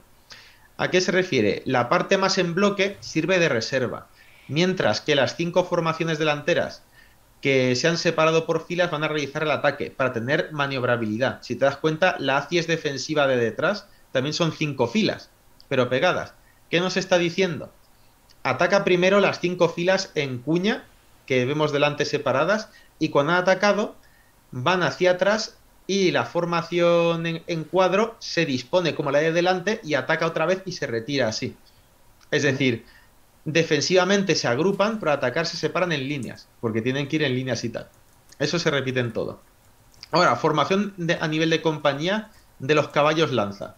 Que esta hay muchos ejemplos y a mí me mola mucho, porque digo, también nos está hablando de cómo se usarían normalmente las cargas de caballeros de finales de Edad Media. Eh, pues Primero, el escuadrón de lanzas básico, que está aquí. Eh, siempre, siempre, siempre las unidades de lanceros tienen como máximo cuatro filas. Y dirás, ¿por qué? Porque hemos visto antes que los arcabuceros a caballo pueden tener seis, ocho, los coraceros tienen hasta diez. Pero eso se debe a que si tú pones más de cuatro, no sirve para nada. Porque las lanzas no van a servir más de eso. La primera fila va a chocar, la segunda va a chocar, la tercera va a chocar, la cuarta de reserva, la quinta no va a hacer nada. Entonces, como máximo haces cuatro filas. De todas maneras, no se solía atacar con las cuatro filas así dispuestas, que como veis una curiosidad, van de lado muy juntas, pero de fila a fila muy separadas, para darse espacio. Eso se debe a lo mismo que hemos visto con los arcabuceros a caballo lo que hacían es se acercaban así, la primera fila cargaba y cuando la primera fila se retiraba, cargaba la segunda fila. Sí, sí, no iban, todos al bagullo uno detrás de otro porque si no eh, matas a tu compañero más que matar Exactamente. Y donde se ve mejor es aquí donde he puesto escuadrón de lanzas con líneas intercaladas. Espera, que, me salió esa carpeta. Escuadrón de lanzas. Ah, aquí está. Sí, aquí vemos el escuadrón de lanzas con líneas intercaladas, que este ya digamos se ha dispuesto una formación para enfrentarse a múltiples enemigos en una sola carga. Esto sí que cargan todos a la vez. Pero para cargar todos a la vez, para que funcione, pones dos filas separadas a los lados y una delante que hace de frente y una detrás de reserva. Esta sí que carga con todos juntos. para que se vea cómo se hacía más o menos. Sí. Luego, ta- también es interesante el cuadro de caballos lanza, que es un cuadro defensivo, ¿vale? Pero digamos que no es un cuadro defensivo estático. Si veis, Ya, tiene... esto eh, no, no tiene mucho sentido. Es casi como un, un cuadro de piqueros en defensa de caballería, ¿no? Sí, pero no están estáticos. Lo que harán será lo siguiente, si te fijas, cada fila tiene dos filas a su vez de lanceros que se intercalan para que la lanza puede pasar. Lo que hacen este cuadro de caballos defensivo es, esperan a que el enemigo que les va a atacar les esté rodeando y cuando están cerca realizan una carga repentina a una de las filas. Y así intentan abrir un hueco y escapar por ese hueco. Digamos que todo está pensado. y bueno, más cosas. Eh, eh, ¿Cómo se atacaba un cuadro de infantería? Pues se podía atacar con dos líneas o con una línea. El más común era con una línea, si lo quieres poner. Ataca con infantería con lanzas en una línea. No sé si está puesto. Sí, está, está, está. Que tardo, tardo, tardo. Soy... ya está. Sí, pues, pues como si veis, se ponen en cada uno de los lados, en cada una de las esquinas, todos en una sola fila. ¿Por qué una sola fila? La idea es atacar y se retiran. Y necesitan espacio. Si pones más filas detrás, no tienen sitio por donde escaparse. No, porque tiene que- Morirían claro. porque no les dejan escapar. Porque está todo, digamos, completo y la única forma es retirarse por donde llegaron. Exacto. Y si ves aquí está el ataque a cuadro infantería con lanzas en dos líneas. Si lo pones, que este es eh, la otra versión. ¿Por qué en este caso ponen dos líneas? Si te fijas, solo atacan a los lados, pero no por las Sí, esquinas. las ¿Por esquinas qué? no. Porque es donde escapan, ¿no? Escapan por. Exacto. La primera línea ataca y escapa por la esquina. Y entonces ataca la segunda línea que también va a escapar por la esquina. ¿Y siempre se escapaba hacia la izquierda o eso podía variar? Mm, supongo que podía variar. Lo que pasa es que eh, yo creo que tendían a escapar más los caballos lanza a la derecha. Porque su lado los derecho. Los otros escapaban hacia la izquierda, los grabados que vimos de los de, de los Raider. Sí, pero es que el Reiter es distinto porque el Reiter usa pistola de una lanza. Claro, claro, justo, sí, sí, sí. También depende. Pero es porque eh, tú tiendes a defenderte por el lado izquierdo con la lanza y entonces pasas la lanza un poco hacia el lado izquierdo. Entonces ya así te va a dar el caballo para irte a ese lado. Lo que sí es cierto es que todos tienen que escapar por el mismo lado. Si cada uno se iba por No, un sí, lado, sí, sí, sí, claro. la formación se deshacía y se liaba a la de Dios, como digo. Mm. Y bueno, ejemplos reales de uso de esto que han quedado, pues en el que he puesto aquí de ataca a la caballería. Este es de una batalla en las guerras contra los hugonotes en Francia, que directamente se ataca una formación de picas así, en este caso son suizos, ¿vale? Por las banderas de los que atacan. Y para que veáis el detalle de que atacan por todos lados y de esa manera. Además parece que se intuye arriba como que escapan al lado. Sí, unos escapan Luego. sin lanzas, si te fijas. Y también se ve un alfanje, se ve una maza. Sí, se ve Un un, martillo. martillo Sí, sí, sí, sí. que esos son otros que ya han perdido la lanza y realizan su segunda carga. Mm. Otro ejemplo, en la otra que vemos la batalla de Moncourt, que es también de la, la guerra contra los hugonotes, que en este caso no pueden atacar por todos los lados, pero se ve cómo atacan y tal. Así que la leyenda esa que dice que la caballería con lanza no atacaba a los piqueros nunca, como veis no es cierto. Lo que pasa es que lo tenía más difícil, Sí, sí, sí. que no es lo mismo. Claro, lo que es interesante es eh, el alfanje, ¿no? Es decir, que van dos con alfanje. Es decir, claro, al final es como un poco como el sable, ¿no? Porque sirve de golpe desde arriba bastante bien. Sí, es que contra otra caballería, pues a lo mejor no es tan útil, pero contra infantería, pues pega fuerte. Y bueno, ahora si quieres hemos visto las formaciones nivel compañía, pero ¿cómo formaban eh, junto con todo el ejército? Que esto es interesante, con otras unidades. Ujú. Pues por ejemplo, a ver si, si vas en la parte principal que te pasé. Sí, sí, al rey, sí, sí. La, claro. sí, la manera más común es como he puesto aquí en el de 1600 Batalla de las Dunas. Eh, el 1. ¿Vale? Que como veis aquí, no sé si ya está puesto. Está, está. Están aquí mezclados los lanceros, coraceros y los arcabuceros. Pues bien, aquí están los lanceros en el centro, como veis, los arcabuceros a un lado y los caballos coraza al otro lado. Ujú. ¿Por qué? Esto es porque la táctica principal de ataque de caballería contra otra caballería consistía en que primero los arcabuceros a caballo intentaban rodear por fuera, los arcabuceros siempre están en el lado exterior, intentan rodear por fuera y disparar por el flanco a la caballería enemiga. Luego, por el otro flanco, los coraceros intentaban cargar por el flanco y cuando ya los coraceros habían inmovilizado la caballería enemiga, cargaban los lanceros por el frente y la acababan de destruir. O sea, eran como la puntilla. ¿Vale? Esa es la táctica habitual contra caballería. Y como en esta batalla la caballería estaba en los flancos, pues iba a atacar a otra caballería. Y por eso están dispuestos de esta manera. Pero ahora la única manera, no. Por ejemplo, la caballería cuando actuaba sola, pues que actuara sola pasaba muchas veces y más en el, en el siglo XVII. De hecho, si lo vemos, este tratado es del XVII. Eh, aquí el que tengo puesto arcabuceros y dragones con coraceros número 2, si lo pones, este es muy claro. No sé si lo veis. Sí, sí. Pero, pero en la imagen veis, cada letra es un tipo de tropa. La A son arcabuceros a caballo.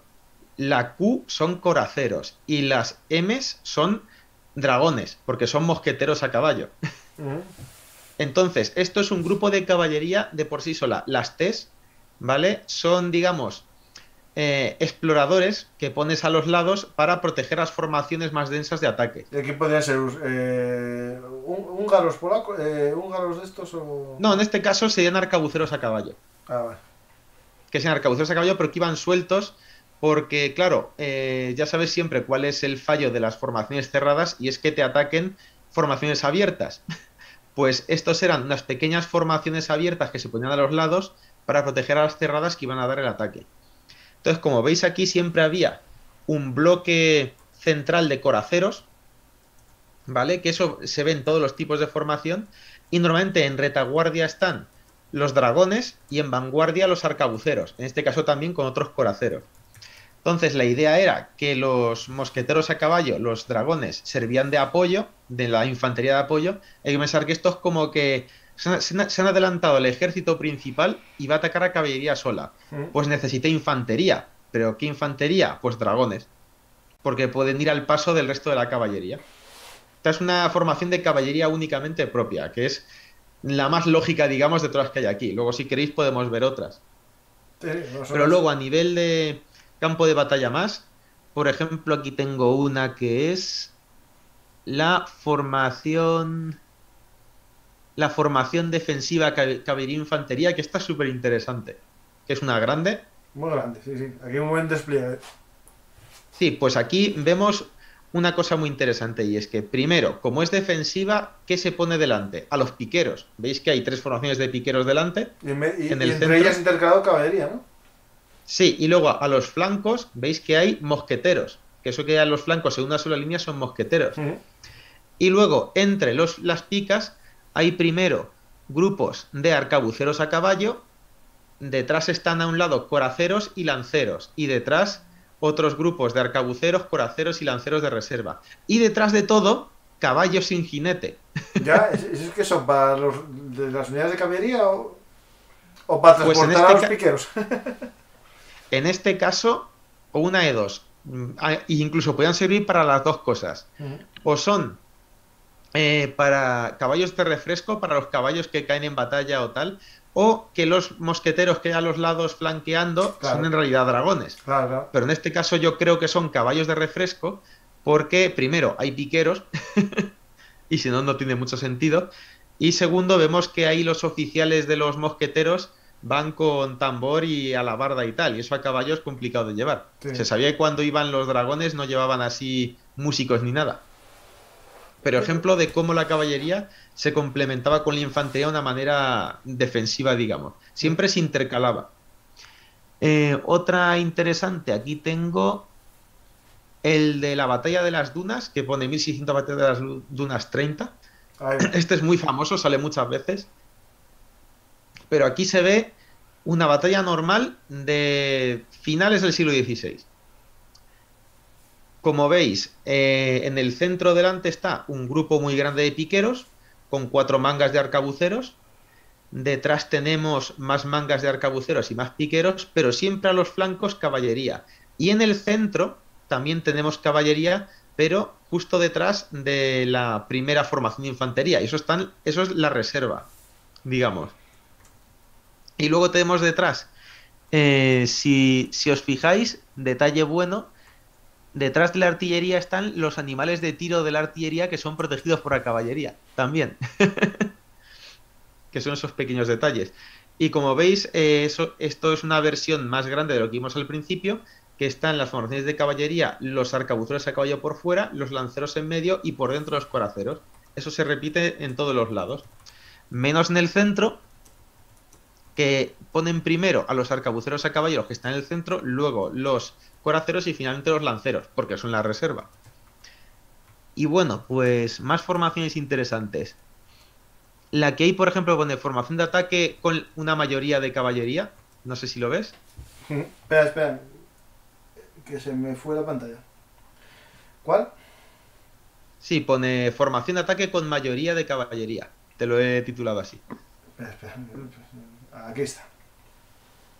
Vale, este es muy interesante porque vemos eh, una formación de ataque que era muy usada en el siglo XVII, que consistía en dejo las picas atrás, si veis aquí hay cuatro formaciones de piqueros como atrás, y mando hacia adelante mangas de mosqueteros o arcabuceros que van en una sola línea, pero les protejo con una media luna de caballería que se van intercalando lanceros y coraceros, ¿vale? Con lo cual realmente aquí los piqueros son una especie de reserva y los que protegen a los arcabuceros va a ser la caballería avanzada. Si luego os fijáis al fondo también hay caballería de reserva y luego algunas unidades de coraceros que se quedan junto a los piqueros como para, protegerlos. Y bueno, eso es en, en general, como veis, se repite en todo el concepto de que las armas se ayudan entre ellas. Sí, no vas a son operaciones interarmas todas. Sí, es decir, no vas a ver nunca a los lanceros solos, a los arcabuceros solos, a los coraceros solos. Siempre es como mínimo Coracero Arcabucero, eh, Arcabucero Lancero, porque se complementan. Y eso es lo que quería decir al principio, que ya el caballero no es el arma decisiva, es un arma más, que tiene que complementarse con las otras para que funcione. Y bueno, es más o menos lo principal, que me gustaba sobre todo enseñar estas imágenes. Si alguien tiene alguna duda más, podemos enseñar alguna imagen más, si tiene alguna pregunta. de cómo imágenes eh, a los eh, oyentes y espectadores eh, os recomiendo un programa que tenemos tú y yo, bueno, tú más bien, hace tiempo que grabamos un podcast sobre eh, las formaciones de los tercios, es decir, cómo se desplegaban con los tercios. No, no lo teníamos en modo multimedia como este, tan guay, porque era la época solo de podcast, pero recomiendo a la gente que lo busque en iVoox o en Google Podcast o en iTunes que era formaciones de los tercios. Creo que se llamaba así, espera un momentín que lo pongo, pero era formaciones de los tercios. Sí, sí, sí, sí, sí, me acuerdo. En el que explicabas todos estos sistemas más enfocado al tema de en sí de la infantería, ¿no? Y también tienes un programa, en un artículo en el blog que, que la gente puede leerlo también y ahí se ven las ilustraciones. Lo voy a poner aquí para que lo podáis ver, ¿vale? Un segundo, ¿vale?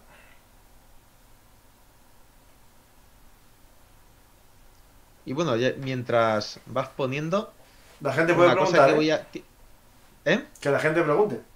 Sí, sí, pero aparte de que la gente pregunte, como tengo muchas más imágenes y más cosas y tal, si alguno quiere tener todas las imágenes que hemos puesto o quiere que le pase el tratado donde las he sacado y tal, si me escribís a mí en el Facebook, os lo paso sin problemas, porque todo lo que sea compartir cosas de todo esto me encanta. es Juan Molina.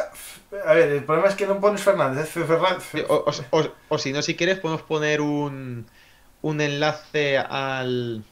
a donde lo tengo guardado. Como la otra vez hicimos, lo hicimos en el. de Google Drive, en los comentarios.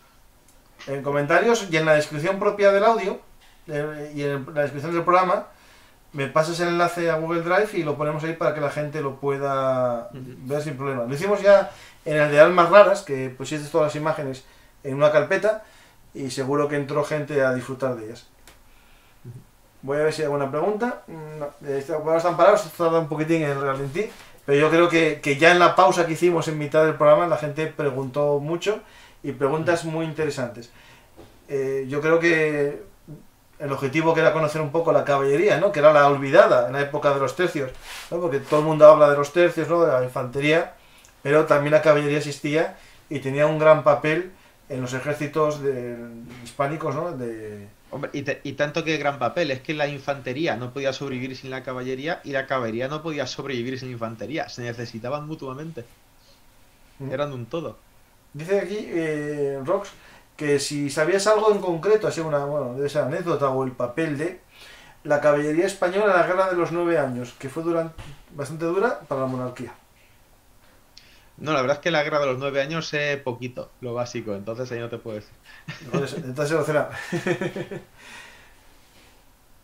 Es que no podemos saber de todo, es imposible. o sea, yo yo, Yo es que yo hay- intento dirigir programas y presentarlos, pero sé de todo un poco, pero no de algunas cosas sé menos. ¿no? Y claro, al final, eh, lo bueno, mira, lo bueno, Juan, de mi caso, que a veces me pongo como el oyente medio y así eh, hago las preguntas que hace el oyente medio. Algo de bibliografía. De bibliografía, pues mira, precisamente el tratado que he usado para esto, si alguno es más valiente que yo y se atreve a traducir del latín entero, pues el, tratado de caballería de Filipo IV, que es del que he sacado muchas de estas imágenes y gran parte de información. Ese yo diría que para la caballería hispánica lo básico. Em, más bibliografía, pues cualquier crónica de batallas de entonces donde sale la caballería, por ejemplo la de Glen, eh, Glenn Blues, es un ejemplo perfecto de uso de caballería, en la que Farnesio se lució, que creo que le mataron siete caballos en esa batalla, cargando con la lanza. Eh, también cualquier... La mayor parte de tratados militares españoles hablan de la infantería, la verdad, pero eh, siempre se menciona un poco. Y, y bueno, sí, cualquier tratado básico tal, pero el que deberíais, si os interesa es caballería sobre tal, el Filipo IV. Ya está asequible en internet, ¿no? Se pone en Google y sale directamente, ¿no? Sí, y si no, lo puedo poner yo En la para carpeta que de Drive, descargue. Google Drive y ya está. Vale, Yo lo tengo en PDF. Yo lo que voy a hacer es coger el, la- el- el enlace que tengo, lo meto en la descripción del programa y la gente que quiera que entre por ahí y lo, y lo vea. Y disfrute y aprenda, que es lo que tenemos que hacer todos juntos. Solía Ah, había, muchas otro, bajas eh, entre- te- a- había otro que es otro tratado que era, que ese lo leí hace años y mira, eh, se me olvidó mirarlo para este, que es el de arte, arte de cabalgar, que creo que es la época de Felipe III, donde sale precisamente en el de arte de cabalgar el cómo montar la jineta y cómo montar la brida y todo eso, y ese también está... Pero ese chulo. más, digamos, más- por ahí. Voy a coger todos los PDF que tengo del tema y los pondremos para descargar desde Google Drive. Ah, pues perfecto. Y ese de arte de cabalgar es también, digamos, un poco más de, de doma, de forma de montar a caballo. Sí, ese habla que- más de domar, pero ta- también habla parte de la lucha y tal. De hecho, ahí está el tema de si es mejor la lanza o la pistola, tal. Hablan de eso en eso también. Vale. Eh, dice por aquí, eh, solía haber muchas bajas entre la caballería en los combates. Me imagino que, que al final, como la caballería dependía de la batalla, pero también tenía un factor, ¿no? Que era el movimiento, podía marchar más fácilmente, ¿no? La caballería hasta donde sé de bajas, tenía más bajas los caballos que los jinetes. Eh, vale. Y eso también cuenta bastante para la efectividad de la unidad, por lo menos. Sí. Claro, porque me imagino que vas perdiendo los mejores caballos, al final te quedan los peores siempre. Y había, por ejemplo, en, en los manuales de combate, atacar al caballo como una... Sí, Eh, sí porque sobre, sobre todo si eras tirador, si eras un mosquetero, un arcabucero o un arcabucero a caballo, Mm. te decían sobre todo que apuntes al caballo porque es lo más grande. Claro, para más fácil. acertar mejor. Sí. Eh, o sea, no, no es, no es por otra cosa, sino por acertar al caballo. Eh, digo, por acertar a lo más sencillo. Es verdad que en los manuales de lanza, todos los que he visto del uso de lanza, hay técnicas de atacar al caballo, pero son las menos. Me imagino que es porque con la lanza sí que hay más posibilidades de derribar al enemigo dándole a él y no al caballo.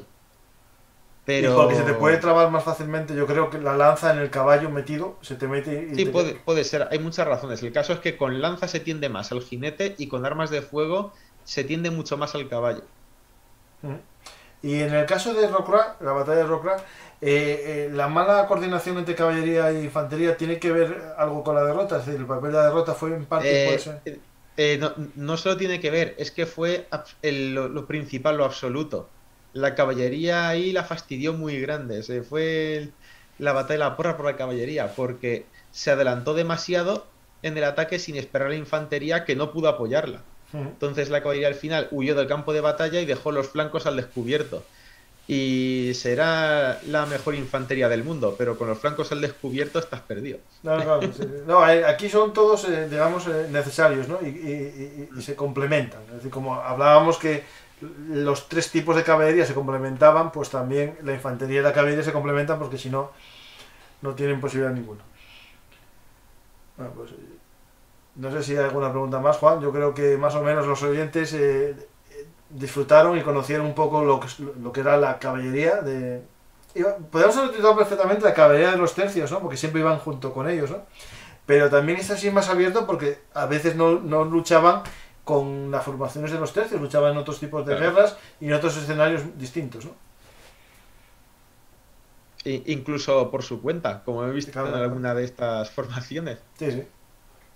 Sí, sí, porque eso hay que tener bien claro que, que cuando se busca maniobralidad atacar a la retaguardia enemiga, el papel de la caballería es, en solitario, es decir, eso no hay duda ninguna que ese papel, no en el campo de batalla, sino en la retaguardia, línea de suministros, eh, comunicaciones, es el papel esencial de la caballería a día de hoy incluso, es decir, si existe todavía... Pero, y, pero, por ejemplo, fíjate cómo es que en lo que hemos visto en formaciones, una cosa que siempre lleva la caballería cuando va sola son dragones, porque le hace falta la infantería, aún así si ataca sola. Entonces, vale, no llevo piqueros, pero por lo menos llevo mosqueteros que me van a ayudar mucho. Sí, sí, sí cierto, sí, sí.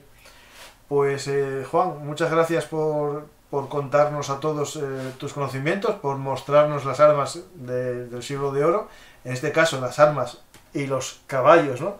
del siglo de oro. Y muchas gracias por todo, los oyentes yo creo que estarán contentos con este programa. Eh, ¿Me hacen alguna pregunta más, Juan? Juan parece que... Ah, Juan parece que lleva gola y de negro. Si le cambiamos el fondo, parece un maestro de campo. Lo estaba pensando, digo, eh, ahora con la capucha esta que llevo aquí, parece una gola tal como está. Sí, sí, sí, parece, es verdad, sí. No me había, dado cuenta, sí. Pues eh, muchas gracias, eh, Juan. la próxima vez que estemos juntos será en ese programa de podcast que haremos sobre los dragones, sobre los usares alados que lo haremos muy parecido el formato, yo creo, al que hicimos juntos de los piqueros suizos, que fue un mano a mano, yo iba contando la historia y ibas contando las armas, haremos algo parecido y estará en formato podcast. No sé cuándo aparecerá en YouTube porque la gente que es de YouTube eh, puede que no lo sepa, pero en podcast tengo, tengo ver un artist puede tener ciento y pico programas que no están en YouTube y poco a poco voy subiendo alguno. Eh, el problema es que no me da la vida ni para subirlo y tampoco a los oyentes para verlos. Por lo tanto, voy despacio uno, cada, uno a la semana, que los, los suelo subir sábados o domingos. Justo cuando no hay domingos en directo, que el problema, Juan, que cada vez tengo más domingos en directo. O sea, ya, esto, eh, eh, cuando dicen que no paro, eh, realmente es porque no soy demasiado bueno porque ya tengo reservados hasta mayo, los martes y jueves, y mucha gente me está pidiendo antes. Entonces los dejo el domingo y espero que, algún día, algún día eh, la gente comente mucho más. Eh, eh, hubo aquí un, un, espectador que, tuvo un gesto muy bonito, al parecer transmitió en Twitch, en directo, y hubo 150 personas viendo el directo que le estaba transmitiendo del programa. No sé qué canal es el de él. Si no está ahora mismo porque está haciendo otras cosas, le pido por favor que en los comentarios me diga quién es para ver, porque yo Twitch no sé cómo funciona, me imagino que al final es parecido a todo lo demás, pero ya no me da la vida, ya más, ya Twitch ya, salvo que sea a la vez que esto, yo ya no me da la vida. Eh, lo último que, Juan, el TikTok, para el que quiera buscarnos ahí, que nos busque. Y nada más, Juan, yo creo que muchas gracias por todo. Ya, yo subía los podcasts el domingo, pero por la mañana o por la tarde, así no te pisas. Bueno, también tienes razón. Vamos ahí, a, a, lo mejor los, subo por la mañana. Tengo que mirarlo. Porque para los que nos escuchan, ¿vale? Normalmente, normalmente, martes y viernes en formato podcast. Siempre. Los martes, eh, cada 15 días suele ser la serie La Conquista de nuestro amigo David Nievas. Y los viernes, eh, programas eh, míos de YouTube pasados aquí a, a formato podcast. Y la programación en YouTube, para los que no, lo conocen, es martes, jueves y muchos domingos. Por lo tanto, me queda ahí pocos días para meter los podcasts en formato YouTube. Lo digo por, si acaso alguien se pierde de todo lo que pasa aquí. espero que vamos poco a poco. Eh, Juan, esto te lo comenté hace tiempo, cuando hicimos el primer programa tuyo en este formato YouTube, éramos muy pocos, no sé si llegaríamos a 500, ¿no? Eh, y ahora ya, ya son casi 3.300 o 3.400 seguidores y vamos creciendo poco a poco y cada vez más gente disfruta de la historia, aprende la historia y descubre los conocimientos vuestros que, eh, como dijo aquí David en el chat, estabais hablando entre los dos de estas cosas horas y horas, pero ahora hablamos conmigo, entre vosotros, y mucha gente puede disfrutar. Gente de todos los lugares del mundo, eso es lo bueno, Juan. ahora mismo lo está escuchando gente de Latinoamérica. Ayer, el otro, eh, antes de ayer que hicimos un programa de Bosnia, gente desde Florida en directo, descubriendo la participación de España en Bosnia-Herzegovina. Es un, un placer. Espero que cada vez más gente nos vea y ya vamos. Pues mira, dice Florian, eh, Florian Eliade que son 3.280 seguidores ahora mismo en, YouTube. Pues vamos ahí poco a poco. Pues Juan, muchas gracias, eh, la verdad. Eh, recomiendo a los oyentes que escuchen el último capítulo tuyo en directo, en un momento. Pues ya cuando suba podcast esto habrá más.